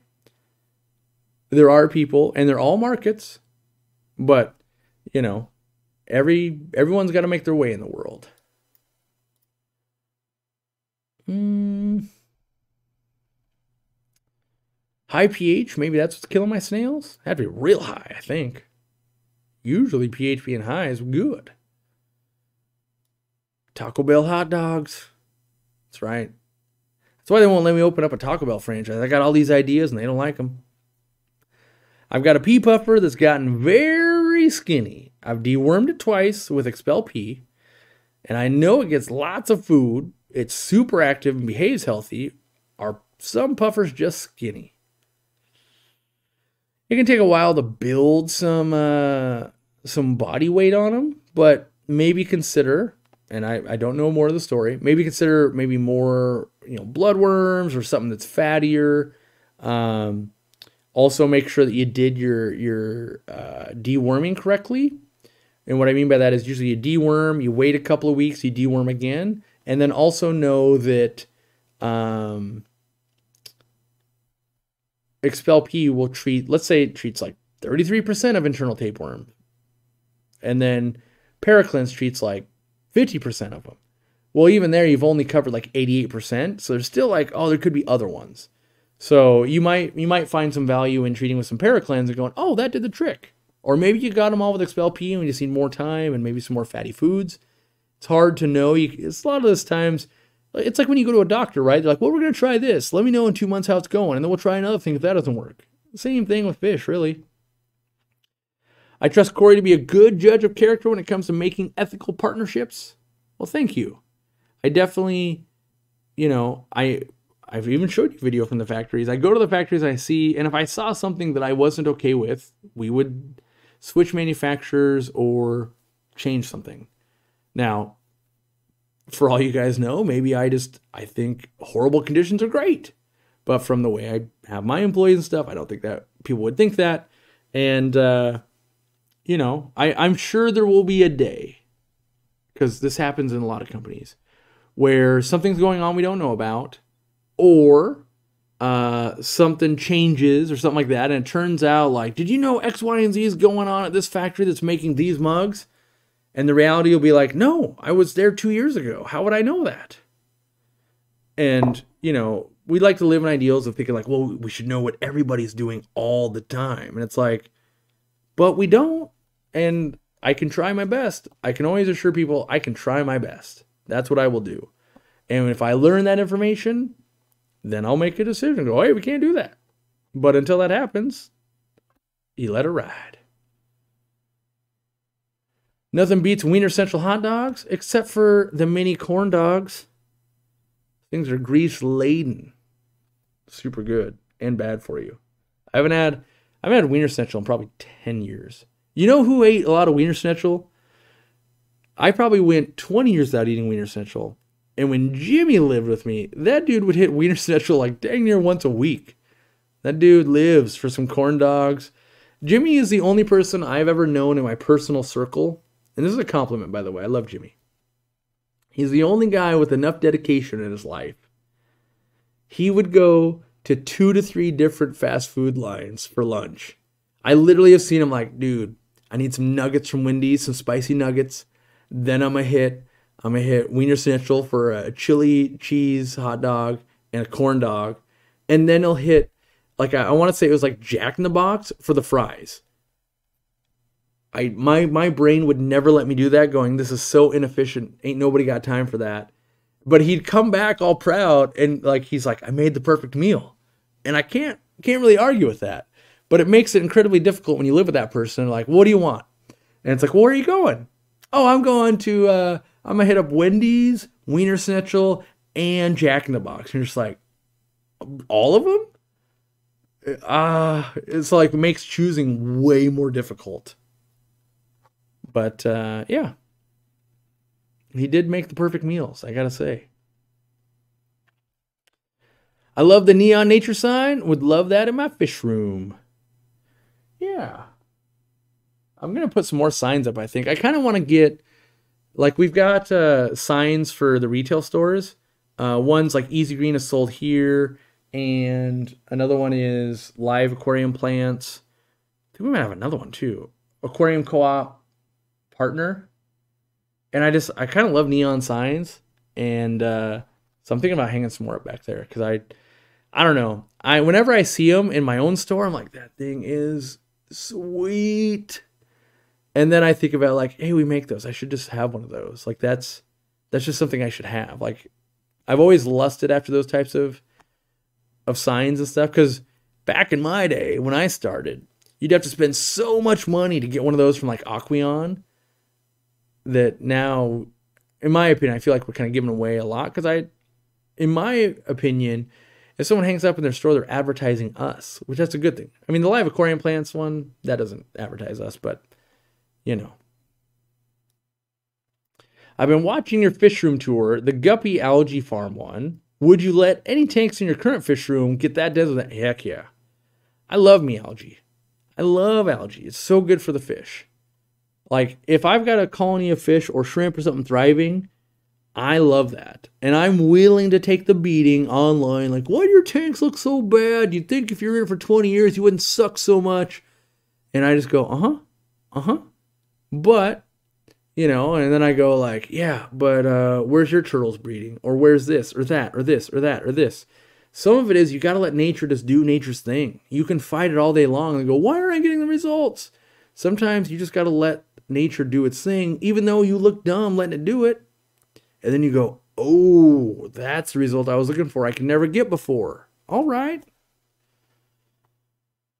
Neon's beautiful. Real neons, also a dying art. Yeah, I don't have, I think I have maybe one real neon sign. These are all LED, and they're so much cheaper that, you know, it's like one tenth the cost. So I, I just buy the LED versions.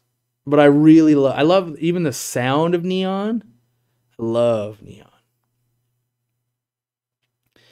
Easy Green does get expensive with 20 planted tanks, eight of which are CO2 injected. I agree. But then I also I also like bring people back to reality. What is 20 of anything in the world that's not kind of expensive? Like it's it's kind of one of those it's like you are running 20, 20 planted aquariums. Like that ain't nothing. So, you know, there's going to be some cost to it, but yeah, maybe we'll let me hold on. Uh, shoot me an email. If you have my email, Steven, shoot me an email or shoot me a, a, a message on Messenger. I think you have it. Have you ever tried Pogo? St- wait, have you ever tried an all Pogostemon Stellatus jungle tank, similar to using Val? Kind of. I let it fill like the ponds and stuff, but I don't clip it and plant it a ton because I'm just too lazy. So I will let it fill a whole tank and let them breed, but I don't sit there and like plant it every inch for that look. How do you fatten up small new pea puffers? I like frozen bloodworms soaking in Vitachem. That's my go-to. How about a neon tetra neon sign? I have that. I know you're new, John, but uh, I literally own a neon neon tetra sign. It's just in the other studio. But I'm thinking about getting that up here too. I miss I miss having my neon lights. I don't even have all my lights on correctly. Hold on, let me let me fix the ambiance. The ambiance. There's one, and ah. see how it brings that more my actual tone of skin in, like the little bit warmer tone instead of, or or as I should call it, the aquarium co-op tone because our lights are too yellow. I like it to be like what sun looks like and not so much because all the light coming in through the window, it's filtered, right? So even though the sunlight is warmer and orange, the shades are filtering light and we're getting that blue light. And we've just people have been doing that for so many years in aquariums, they don't realize what nature should look like anymore. Not that who am I to tell people what they want to look at, but that's not what my eyes see when I'm in nature looking at my pond or in Peru or any of that, I get a nice like orangey yellow uh, glow on tanned water. I gotta spell it. All right, uh, we're talking about the uh, Vitachem. We sell it on our website. You can probably get it on Amazon too. It's just a uh, vitamin soak for foods, whether it's dry, frozen, all that kind of stuff. I want that beta neon sign. I got it. They probably still make it on eBay. Let me see if I can pull it up on eBay for you guys. Neon tetra. Oh, hold on. Neon tetra fish sign. Let's see if I can get that. Mm, no, that came that came up with Halloween catnip toys and 16 inch mermaid skeleton. All right. Uh, neon tetra sign. Mm, now it's trying to sell me live neon tetras. Ooh, by the way, I haven't shown you guys a video out of my fish room in like forever, but I have longfin neon tetras and they're kind of dope. They're pretty cool. They look messed up, but they're kind of cool. You definitely look at them and you go, that's not, that can't be, that can't be uh, aerodynamic. But they look weird and I've wanted them so long. Yeah, I'm not seeing them on on eBay anymore. try Amazon. Neon Tetra sign. Not seeing it. Oh, wait. Nope, that's a shark. Well, I'll have you know, I now have a neon neon tetra sign for sale for only $6,000. Does it expire? Are we talking about uh, Vitachem? I'm sure it does, but you should use it up much before you run into that problem. Any advice for breeding rice fish more effectively? I think lower temperatures increases yield. And then also removing babies from the top of the water every day. Um, but those are what we've observed so far. I just ordered a light. Uh oh. I was going to get a cheaper one, and then you mentioned all the benefits of the co-op light. You sold me. Well, Sherry, if you don't like it, return it and leave a review. We'll leave a review either way, but uh, you know, all I can tell you is I tried my hardest to make a light that I think will live up to what I think an amazing light is. And you will be the judge of that. You'll go, this guy doesn't know what he's talking about, or yep, he likes it, and I like it. Are there any companies in Canada that sell the co-op products? Yes, there is. April's Aquarium. They have two stores in Vancouver, Washington, but they also ship all throughout Canada. So, you know, for a lot of the places where you're like, can we get it here yet? We're hoping we can find a good partner that will do that same type of thing in Mexico, in the UK, and some of the European countries. So we're just waiting for the. We don't want to force it. We want to see, uh, you know, we want to see natural kind of partnerships progress. How's how is how was it traveling with Chris Lukhaup? Uh, Chris Lukhaup and I have this weird connection. Well, I'm gonna say it's that he might tell you like this guy thinks he's my friend, but we have this weird. I'm gonna call it. I don't know what to call it, but we don't have to be on for each other. What does that mean? That means like you can be honest, be like, man, I am too lazy to uh, go do that thing today. And he's like, yeah, me too. Or you eat, you want to eat? Like, nah, I'm not even hungry. Yeah, me either. You want to eat this? Yeah, sounds good. Um, and so even though he'll host me and I've hosted him, it doesn't feel like you've got someone in your home or you're in town.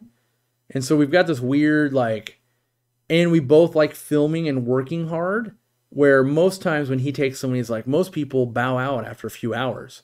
Where at hour 14, we're like, let's go to the next place. And we actually work in tandem really well together and we just have a good time and we can chat and, uh, you know, respect each other. So it's very fun to travel with him. And that's what I was going to go do in Europe for three weeks with him. But I really got to focus on just business in general. And he, he gets that. And he's like, hey, there's always more time and a, you know the universal workout and you know so i told him hey you come here. Like you come see me. You can hang out with me for three weeks. And he does want to do that because he's got to get some more stuff a couple more crayfish i think. One's out of alabama and one out of another place and you can borrow my car and we can go do it and that kind of stuff. I was visiting the washington wait i was visiting washington for a vacation a few weeks ago and made sure to visit the aquarium co-op while i was there.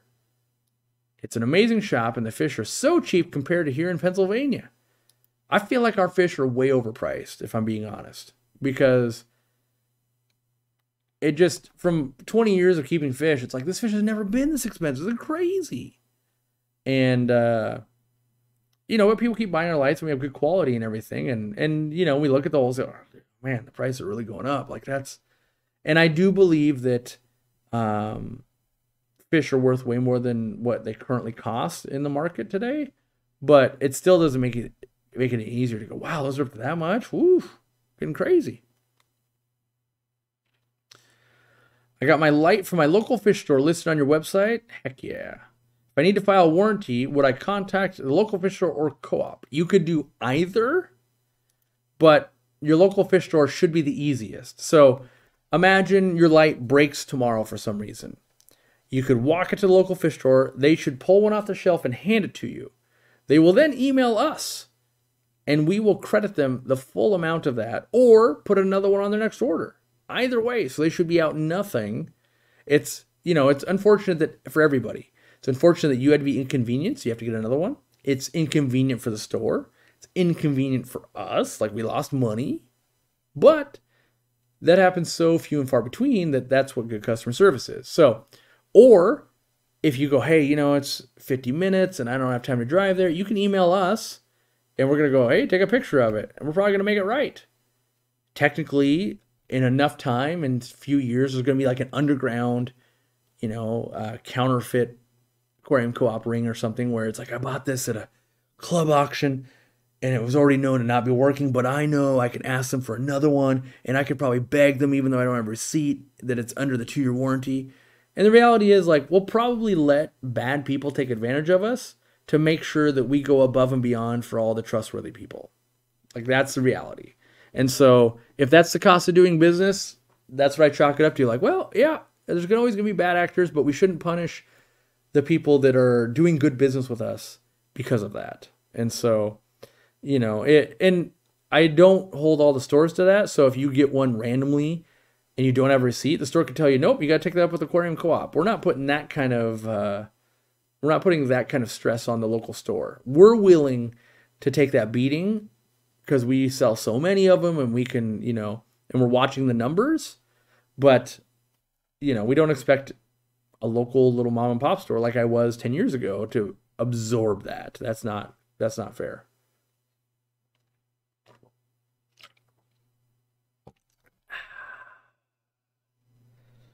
You're so late, but you're acclimating Julie Corys. Well, it ain't that bad. I just bought a second aquarium co-op light, largest one available for my brand new 75 gallon. Well, thank you very much. Chris Lukhaup just discovered the coolest snail, the blueberry snail. I really wish you could find these in the States. What does it take to get these imported? Well, usually it's not that bad. You just have to have a species name and you got to go through some hoops and you can get it. The problem we find is supply. So in Europe, when they go find a snail, and let's say they find like, oh, we got a thousand of these, and that lasts them for a month. A thousand, if we brought a blueberry snail in, a thousand would last us probably 24 to 36 hours. And so that's the problem to import is all the costs. And so we would need to like, okay, well, we need 20,000 of these to bring in to make it make any sense. And they might go, yeah, but there's not, we can't collect 20,000 of them. And so that's where you get these like, oh, well, then we need someone to breed it. And that takes a long time to get it to uh, a breeding status on a lot of this stuff. Uh, let's see here. I'm gonna be going any minute because it's date nights, but I'm I'm trying to trying to wrap her up.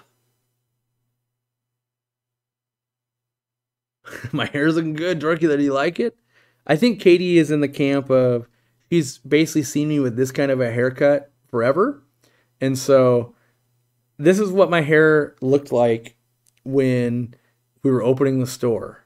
Because well, and when I worked at a fish store, because Katie would cut my hair. And what we would do is we would just buzz it all the way down and then it would grow. And then we weren't on like a schedule like I am with my barber. And so it would get this long, like, oh my gosh, we got to cut my hair. But, you know, they'll be like, oh, we got to do this and this and this and this and this. Like, we won't get to it till next Tuesday. And so, but she's never, she's seen pictures, but never, uh, never like super long hair. Like, I haven't had super long hair since I was like 10 or 12 or something. So, even I don't even know what it feels like anymore. It's all of like this hair is driving me nuts. This is a little wonky too. All the hair around the ears from like headphones, that gets a little. That's it's not my jam. All right. Oh god, I can't even. Like I gotta fix it. I can't even sit there like that. I also look better with the beard. Yeah, the problem with the beard is it, it's a little bit itchy. I don't like it when I'm wearing like the co-op hoodie and every once in a while, like you'll look down at something, you rip a beard hair out, like ow. And maybe I'm just a baby, but uh, you know, there, there's pros and cons. It keeps your face warmer. You know, although I do get I do get dog hair in it. There's that I'm not thrilled about. So I have to share pictures. There's probably pictures. If you go way back on the community post, there's pictures from a long time ago. Uh, yeah. All right. I'm wrap wrapping it up. Wrap, wrap, wrap it up. It's getting hot, sweaty. What's the armpit check? Yep. Look at that. Oh, oh. There's AC. It's a nice, cool 73 downstairs. I need to get a thermometer up here, but it's probably like 80 up here. So it's better.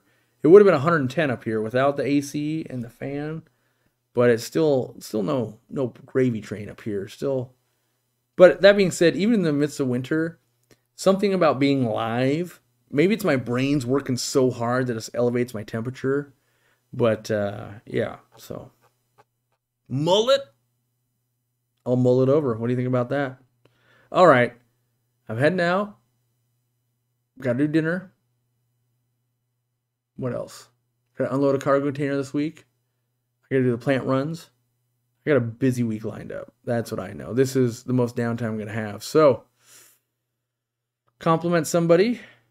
I've been working on that myself more and more. It makes me feel good. You'll make somebody else feel good. And uh, I'll see you next Wednesday. I've scheduled them out. So you could go to our thing right now and you could set a reminder for like the next three or four of them. And that way you won't miss it. Because if you don't show up, I'm not doing it. But you keep showing up, so I'm doing it. We'll see you next time. Bye bye. Gotta find the button. Never ready. Oh. All right. Have a good night. We'll see you. Wait. I didn't actually hit the I hit the end button, but I didn't hit the end end button yet. Just so we're clear, 61% said no way, let it grow another week. So there's no haircut this week. Okay, I gotta I gotta extend it longer. I actually gotta I gotta end that poll. I gotta make it official. Phew, it's official. Okay, no haircut. I'll see you guys next week. Bye bye.